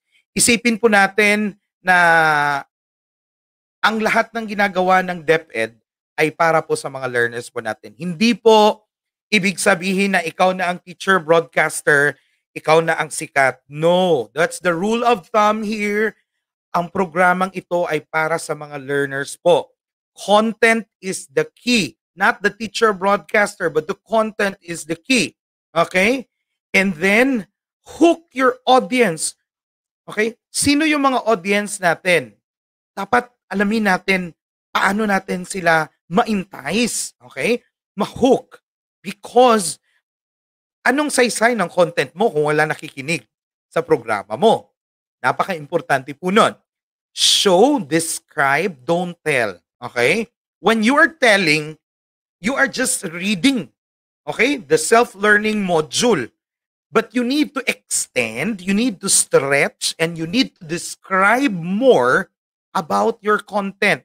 Napakahirap po ng nasa radyo pag dumiretso ka kaagad. You need to, of course, read in advance yung self-learning module mo. Alamin mo, mag-QA ka sa sarili mo. At wag pong uh, dumiretso ka agad. Dapat pag-aralan mo muna. Napaka-importante po ng role ng teacher broadcaster pag sinimulan na niya ang klase niya sa radyo. Remember, live bantering po ito. Hindi mo na mababago. Once sa sinabi mo, na-articulate mo na yan, Of course, papakinggan ng bata yan. The child will assimilate and accommodate the knowledge. Let's go back to the concept of education. Ang bata may prior knowledge na yan. Napaka-importante po na ituro sa bata ang konsepto ng reading. Paano po i-accept ng bata yung knowledge na yon? I-describe mo. Create a theater in their minds. Hindi ka nila nakikita, pero naririnig ka nila. Remember, genius people ay yung mga bulag. Kasi nga ang galing nilang mag-describe kaysa mga taong nakakakita. That's why um, we are expecting no, a very good percentage of learners and development pag ginamit na talaga natin itong radio-based instruction. Um, sabi ko nga, when I was studying broadcasting before, prior to my academic stints, sabi ko, meron kasi kaming subject na educational broadcasting. Sabi ko, itong educational broadcasting na to, dapat para siyang, para na siyang part ng curriculum ng, ng DepEd dapat. Parang dapat ito ay isa ng uh, area no na pagtuunan ng pansin kasi hindi nga natin alam ano pa ang mangyayari sa mundo no hindi natin alam ano pa ang mangyayari sa mga sumusunod pang panahon kagaya ng pandemyang ito. At least we are ready now, especially in Davao. We are creating different materials for our learners. Kasi nga, hindi pa natin alam kung matatapos na ba ang pandemya soon. But we are still here, teachers, to help our learners. Nakikita ko po ang pagod at um, effort ng mga teachers natin para ma-deliver lang po ang mga materials para sa ating mga learners. Hindi po ibig sabihin na may mali ang module, may mali ang ang materials natin sa ahensya kaagad 'yan, no? Hindi po perpekto yung module natin, hindi po perpekto yung ahensya natin. Pero ang pinaka-perfect po nating gawin is magtulungan. That's why Yusek Elaine Pasco sabi niya, meron ng page sa Facebook na uh, dun mo ilagay yung mga errors na nakita mo uh, sa DepEd TV ba yan or sa module para makorek ka agad. Yan kasi ang problema ng Pinoy. No, madaling nakakakita ng mali pero nahihirapan na uh, i-correct 'yon. So dapat pag may nakitang mali, i-report ka agad para makorek ang ang material natin. Remember, bago lang po tayo sa programang ito. Ah, uh, months pa lang, plinano pa itong DepEd TV, itong RBI, itong teleradyo na to, itong DepEd On Air, matuto sa radyo, bago lang po ito. Uh, hindi pa to umabot ng one year. So marami pang lapses na uh, we might come across. So dapat magtulungan po tayong lahat. And you teachers, teacher broadcasters of cluster 2, class, uh, other clusters, uh, other divisions uh, sa Davao region, I am expecting you to perform well with your craft. Ito na po yung panahon na gamitin po natin para maturuan yung ating mga mag-aaral sa tamang paraan gamit ang radyo o TV. Gamit din ang ating Biblia na self-learning module. Remember, wala pong perpekto. Ang importante po ay ma-stretch natin, ma-lengthen natin ang pag-aaral ng ating mga mag-aaral. Hindi po si teacher ang sikat dito, teacher broadcasters. Ang napakasikat po dito ang ating mga learners. Sa ating mga learners naman na alam po natin na napaka-broad and um, napaka tawag dito, uh, very contemporary po yung ato ang mga learners, no? Um, wala tayong magawa. Learners natin sila. We need to adjust talaga sa situation natin ng mga teachers natin. Sabi ko nga kanina, you need to hook your audience. Si teacher ang mag adjust paano niya makuha yung attention ng bata. Remember, our clients or clientels are these students. Dapat alam natin yung technique para makuha natin yung attention nila. And of course, ang sinasabi kong lessons are stories. Your modules and lesson plans pa rin ay napaka-importante. Again, ikwento po ninyo Huwag po kayong magsermon. Do not preach like chalk and talk way of teaching. Panibago na po ang ating panahon ngayon. Ito na yung tinatawag na new normal education. Gamit ang ating creativity, radyo, TV, lahat ng mga modalities, blended mode o ano paman, kailangan po natin ma-reach ang ating mga learners. Dahil ang mga learners po natin, sila na po ang mamumuno sa ating bansa soon. Keep it short and simple. Huwag po natin pahabain. Describe. Be concise with your lessons when you are talking in front of the microphone. Again, sa lahat po ng mga nakikinig dyan sa ating mga teacher broadcasters, simulan na po ninyong i-review ang self-learning module ninyo. And I hope na you can start broadcasting gamit ang Brigada News FM and yung inyong kakayahan para magklase ng uh, asignatura sa radyo. I don't know what what's your arrangement with Brigada, but uh, I am hoping na sana maging successful yung program itong programang ito. Because the division of Davao we are producing RBI it's a canned. It's uh, a theatrical dramatic uh, educational materials. Yung sa brigada po it's a live nagkaklase po kayo diyan na live po talaga. So napaka-importante po yung kaalaman sa asignatura, paano mo i-hook yung audience mo, and remember, yung learners pa rin ang nangunguna, hindi po si teacher broadcasters. Um, I hope meron tayong mga mga comments ngayon. Um, wala pa ako nakitang comments dito. But uh, I hope meron po tayong mga questions para masagot natin kaagad sa ngayon. Um, medyo walang questions. But anyway, again, um, I would like to say congratulations po sa lahat ng bumubuo ng Department of Education from Central Office, Regional Office, and the Division Office. Um, ginagawa po natin lahat para sa ating mga learners. And I am very sure na matatapos na itong pandemya na to. But itong radio-based instruction and TV-based instruction, magpapatuloy po ito. Dahil ito na ang panibagong new normal education. Uh, sa ngayon, again, maraming salamat po sa ating mga listeners for this wonderful orientation. I hope nakatulong po ako sa inyo kahit konti. Itong mga leksyon na to, itong mga elementong ito ay sana madala ninyo when you're starting to do your broadcast with Brigada. At isipin po ninyo yung mga learners po natin. Again, maraming maraming salamat po at mabuhay po tayong lahat sa Department of Education. Maraming salamat po.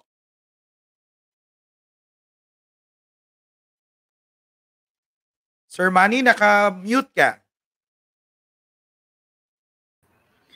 O di ba? Thank you so much ha. Grabe, I salute you. Walang questions because everybody uh, understood because you simplified your ano your uh, discussion. Okay, so Sir Arnold, ah, wag mo kaming uh, talikuran ha kasi every now and then italagang ikaw ang aming sandalan na pader ha. Ayan, because I I, know the uh, teacher broadcasters are willing to ano to uh, be with us uh, proving that eh, talagang may ano tayo may mga directions na makakayanan and uh, successful ang uh, magiging resulta. Okay.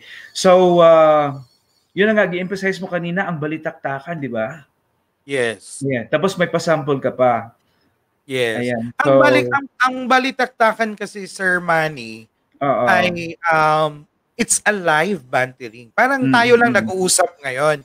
So, okay. Sir, So, parang ganito lang. So, Sir Manny, ma- magandang hapon sa inyo. Pag-uusapan nating asignatura sa hapon na to ay tungkol sa pagsulat sa asignaturang Pilipino. So, pag sinabi mo, Sir Manny, gan- parang ganito lang. It's natural, no? The spontaneity. Uh-huh. Ganon. It's different from a canned educational material. Kaya nga sabi ko, dapat magaling si teacher broadcaster dito. Mm-mm-mm-mm-mm yung tandem ni teacher at saka ni uh, learner uh, dapat uh, yung mag-emosyon nandun talaga no? Tapos mm. yung energy of course yes, yung content. Baka yes, kasi ang sasabihin nila Sir Arnold na talaga uh, yung kabuuan, kabuuan ng ano SLMs na i-deliver. Hindi yung kinakailangan dito since uh, limited yung ano natin, yung uh, uh, time. Kasi we only have one hour in the afternoon for the radio and uh, uh, yung Facebook Live. Kumbaga, uh-huh. kagandahan dito Sir Arnold kasi meron uh-huh. na silang almost 2 million na FB yes. viewers. Uh-huh. Plus yung sa atin uh-huh. pa. O di ba? Para bang sinabi mo, TV na, radio pa. O di ba? Uh-huh. O may question Sir Manny, pa, uh, may question si Sir Edgar Allen from uh-huh. Cluster 2. Sabi ni Sir Edgar, Sir Arnold from Cluster 2 po, paano po i-budget ni teacher broadcaster ang allocated time niya sa radyo? Ilang minutes po ba ang allotted time per learning area? Ganito po yan. Uh, depende po sa naka-allot na uh, time frame na binigay ng brigada. Hindi sa isang week, example, I mean, sa isang leksyon sa module, hindi po ibig sabihin na Napakahaba po nito. Yun po ang sasabihin ninyo. You need to shorten that one. Sabi ko nga brief and concise. Para siyang bullet, pa, pa, dapat hmm. magaling talaga magsalita si teacher broadcaster dito. Kasi ang mangyayari nito, si teacher broadcaster talaga, um, gagamitin pa rin niya yung way of style niya teaching sa inside the classroom. Pero masasanay din yan uh, soon. Uh, hindi rin natin alam kasi kung ano yung arrangement niyo sa brigada So I hope ma- mm. ma-clear na rin yan, Sir Man. Mm. Oo. So mangyayari now, uh, kasi meron tayong ano, mga PSDSS na partners natin and then may counterparts sa division. Kumbaga, the ano, teacher broadcasters ang kaganda nandiyan na. So all we have to do next, uh, magiging next step, kumbaga, is just a matter of arranging, no? O sino yung nakaka- makakatoka this week, then next week, Ayan. So, para bang uh, ang ang assignment on the air for their RBI ano para sa instruction nila uh, kunyari sa isang buwan baka isang beses lang dalawang beses parang ganon. Ayan. So somehow your input is really a big help for the broadcasters. Uh, these are the tips actually the techniques. Ayan. And then uh, yun na nga kasi we have two platforms to be mastered creatively. Yun na nga, yung sa Facebook at saka yung sa radio. Yung sa afternoon kasi Sir Arnold, ano yan siya? Facebook na, live pa, through radio. And then yung sa morning, dalawang oras, everyday yan, hanggang Sunday. Everyday. Yung two hours, that, that uh, is intended only for Facebook Live. And the next, kunyari, hindi na, ano, the, the learners are not able to catch all those Then, kasi naka-save yan siya. Pwede nilang ano, from the Facebook or YouTube. Uh-huh. So they can review for themselves. Ayan. I think uh-huh. we're done. So, congratulations. Ayan, parang isang question lang eh. Sana uh, madami. Sige lang. Oo. So, uh, I hope, Sir Manny, you can meet your teacher broadcasters separately and you can mm-hmm. discuss with them. Same with the PSDSS and uh, our school heads sa cluster 2 at sa iba pang mm-hmm. uh, clusters. Oo. Ayan. So, wala silang maging problema in terms doon siguro sa pamasahe, sa food, when they're in the radio stations, kasi yung platform nga natin, through StreamYard link, uh, so we, we simply give the link to the brigada, then the connection, our connectivity, I mean our uh, platform instruction on the air continuous. So wala masyadong problema. Mm-hmm. Oh. Sige. Ganyan yung kanina no, napansin natin yung parang radio, kasi taga radio talaga yung sa brigada. Uh-huh. Regardless kung ano yung mga kasi visuals yun eh. Uh-huh. Ayan. And then sa iyo, you are ano, you are integrating both the radio and pang TV pa. Ayan. So, pasample nga Sir Arnold, magsample nga tayo na ano, balitaktakan konti lang. Ano yan? Uh, um, ano bang magandang sample? Sample, Sige, kunyari, ah, ako ang winner. Nagbigay, nagbigay na ako ng sample uh, kanina eh. Yung ngayon, yung kasali uh, ako. ah. Si, uh, okay lang? Uh, uh, sige, sige, sige. Konti ano lang. o parang ganito lang. So magandang... Ikaw ang teacher, ako ang learner. Uh, so magandang... Oh, magandang araw at magandang hapon sa ating mga mag-aaral, mga giliw nating mag-aaral and welcome sa panibagong programa natin dito sa Dunong Agila. Ako si Teacher Arnold at kasama natin si Manuel. Ako naman si Learner Manny. Si Learner Manny. Yes. Okay, Teacher Arnold. At, ngayong mm-hmm. hapon na ito, mara, marami tayong malalaman. Ako yes. bilang ano learner, marami akong itatanong sa iyo. So ano ba yes. pag-uusapan natin ngayon? Sa hapon na ito ay pag-uusapan natin yung uh, tinatawag nating pagpapahalaga sa ating kapwa o sa asignaturang edukasyon sa pagpapahalaga. Napaka-importante po sa ating mga nakikinig dyan ng mga mag-aaral kung paano po ang tamang pag-asal, okay? Yung asal para sa ating mga magulang, asal para sa mga kaibigan natin, at sa ating mga dakilang guro. So Manuel, nat na naranasan mo na bang uh, makasalubong ang isang guro sa isang paaralan? Ano yung unang sinasabi mo? Tama ngayon, Sir Arnold. Kasi sa ngayon, ako'y nalilito. Pag ako'y nagbabasa ng Facebook, oh my, talaga napasakit, napakasakit ng dandami ko. Kasi ano ba talaga ang tama ano ang mali? Ayan. Nakita ko nga si isang ano, nagmano ng ano, nagmano. Ano ba 'yon? Paki paki ano, paki uh, explain nga sa akin bakit nagmano yung mga bata sa kanilang mga magulang, Sir Arnold. Oo, ang pagmamano po sa ating traditional na konsepto ay mm-hmm. isang simbolo, ay isang simbolo ng paggalang sa nakakatanda. Ginagawa na po natin ito noon pa.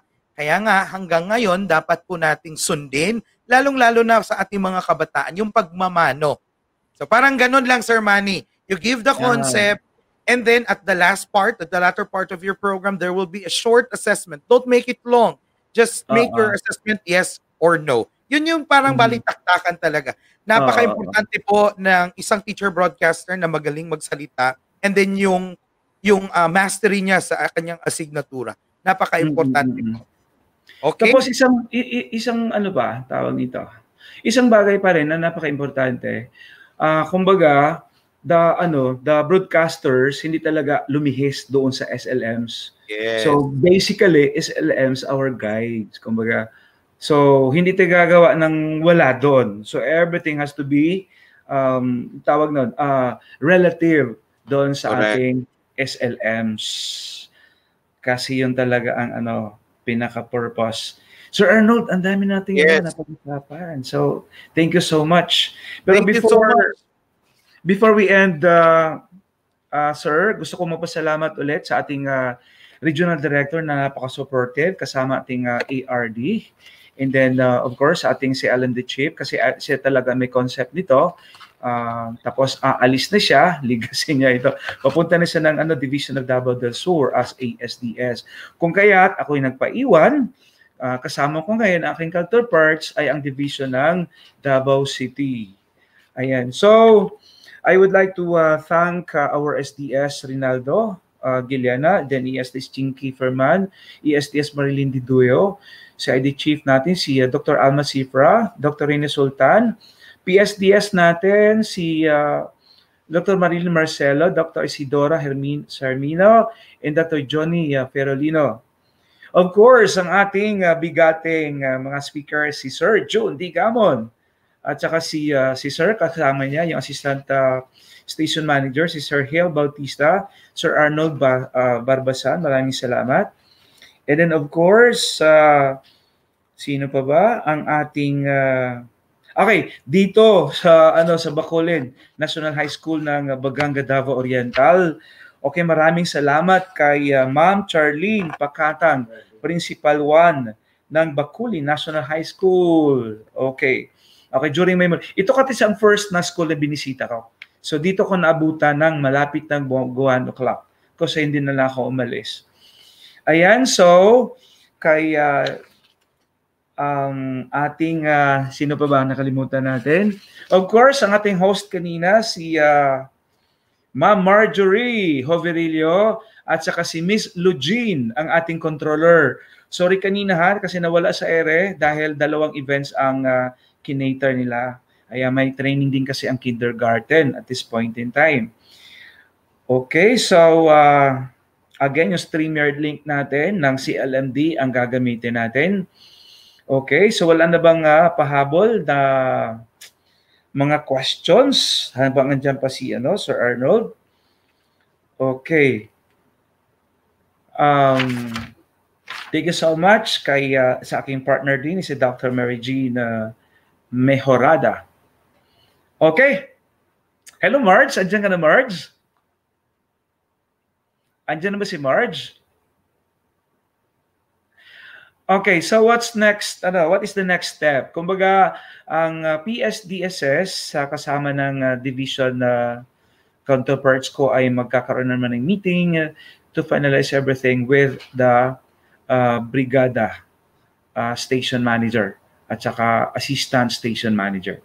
So thank you so much. And at this point in time, we shall have our uh, closing prayer na ibibigay ni Ma'am Viola. Hello, Ma'am Viola. Ma'am Viola Esparagosa. Anong school ka, ma'am, please? Davao City Special School, sir. Uh, Davao City Special School. For a closing prayer, ma'am.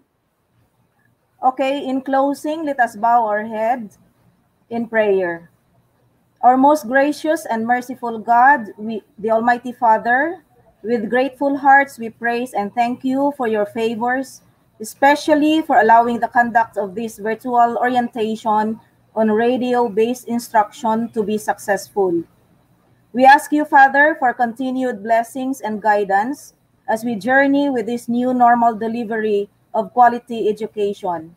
May our learning from this activity be utilized in the field for the good of our learners and of our service. Bless our learners, teachers, and the parents who are one with us in this challenging endeavor and in fulfilling your noble will for all of us. May you continue to reign in our hearts always, Father, protecting our lives and delivering us from evil and sickness. We are giving you back all the glory, honor, praise, and thanksgiving in the precious name of our Lord Jesus Christ. Amen.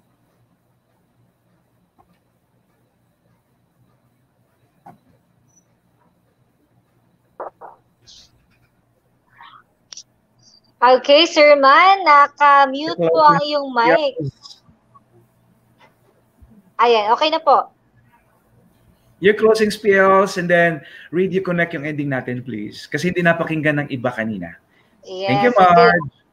Thank, Thank you, you, Sir. Manny, and thank you, Ma'am Viola, and to our uh, guests earlier, Sir Arnold and uh, Sir June Ligamon of uh, Brigada FM Radio Davao. Thank you so much for gracing us with your presence and for- sharing us your expertise regarding radio-based instruction. And uh, we will be seeing you again next time for more activities regarding RDI. But for now, uh, we will now end our live stream. But for those hindi nakahabol sa ating uh, discussion kanina, uh, you can uh, review or rewatch our video on our official Facebook page, CLMD, and our official YouTube channel. Okay, so pwede nyo pong panoorin ulit yung ating video kung sakaling yung ating mga teacher broadcasters hin- hindi nila na panood simula hanggang dulo, you can always visit our official uh, social media accounts para panoorin at uh, i-reorient ang ating mga sarili regarding radio-based instruction. So I think that's all for this afternoon. And this has been Marjorie of Curriculum and Learning Management Division. Thank you so much, Sir Manny. Thank you so much to uh, the Schools Division Superintendent of uh, Davao City.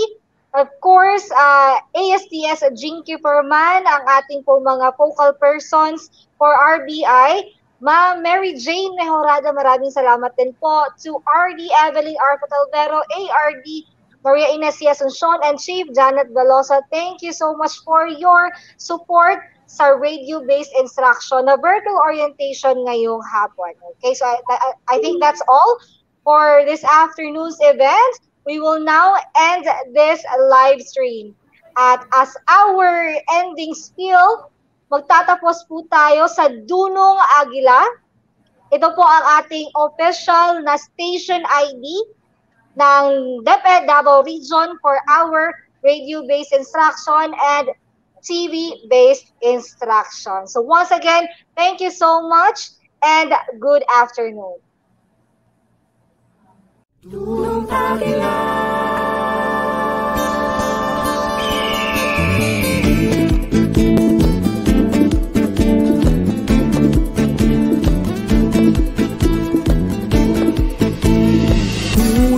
Unitado, magkaugnay Paaralan, tahanan, nagkakaisa. Iisang layunin, ito kasi susulong. Tulong-tulong,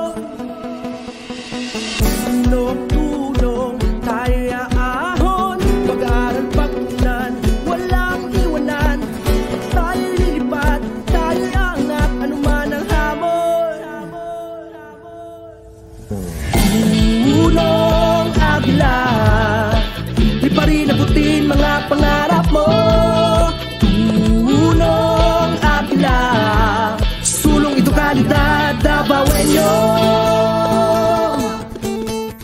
Welcome to Davao Region Dunong Aguila in support of the comprehensive region-led learning continuity plan. I teach integrating technology, academic community, and the household, ensuring every learner is safe and protected anytime, anywhere. Anchored on Sulong Idokalidad, this is DepEd Regional Office 11, delivering quality education across Davao Region. Lumikha ng pagbabago Kaya natin to Kabataang Davaoenyo Kaya natin to Dunong agla Liparin, abutin mga pangarap mo. Tunong agila Liparin, abutin mga pangarap mo. Tunong agila Sulong kabataan dabawenyo Tunong agila, sulong agila Tunong agila, sulong agila Sulong kabataan dabawenyo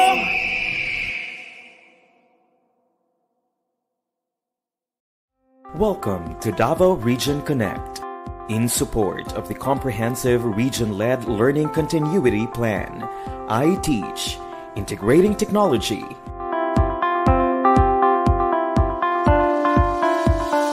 Academic community. And the household.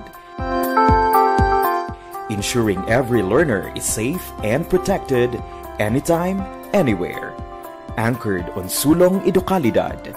This is DepEd Regional Office 11, delivering quality education across Davao Region.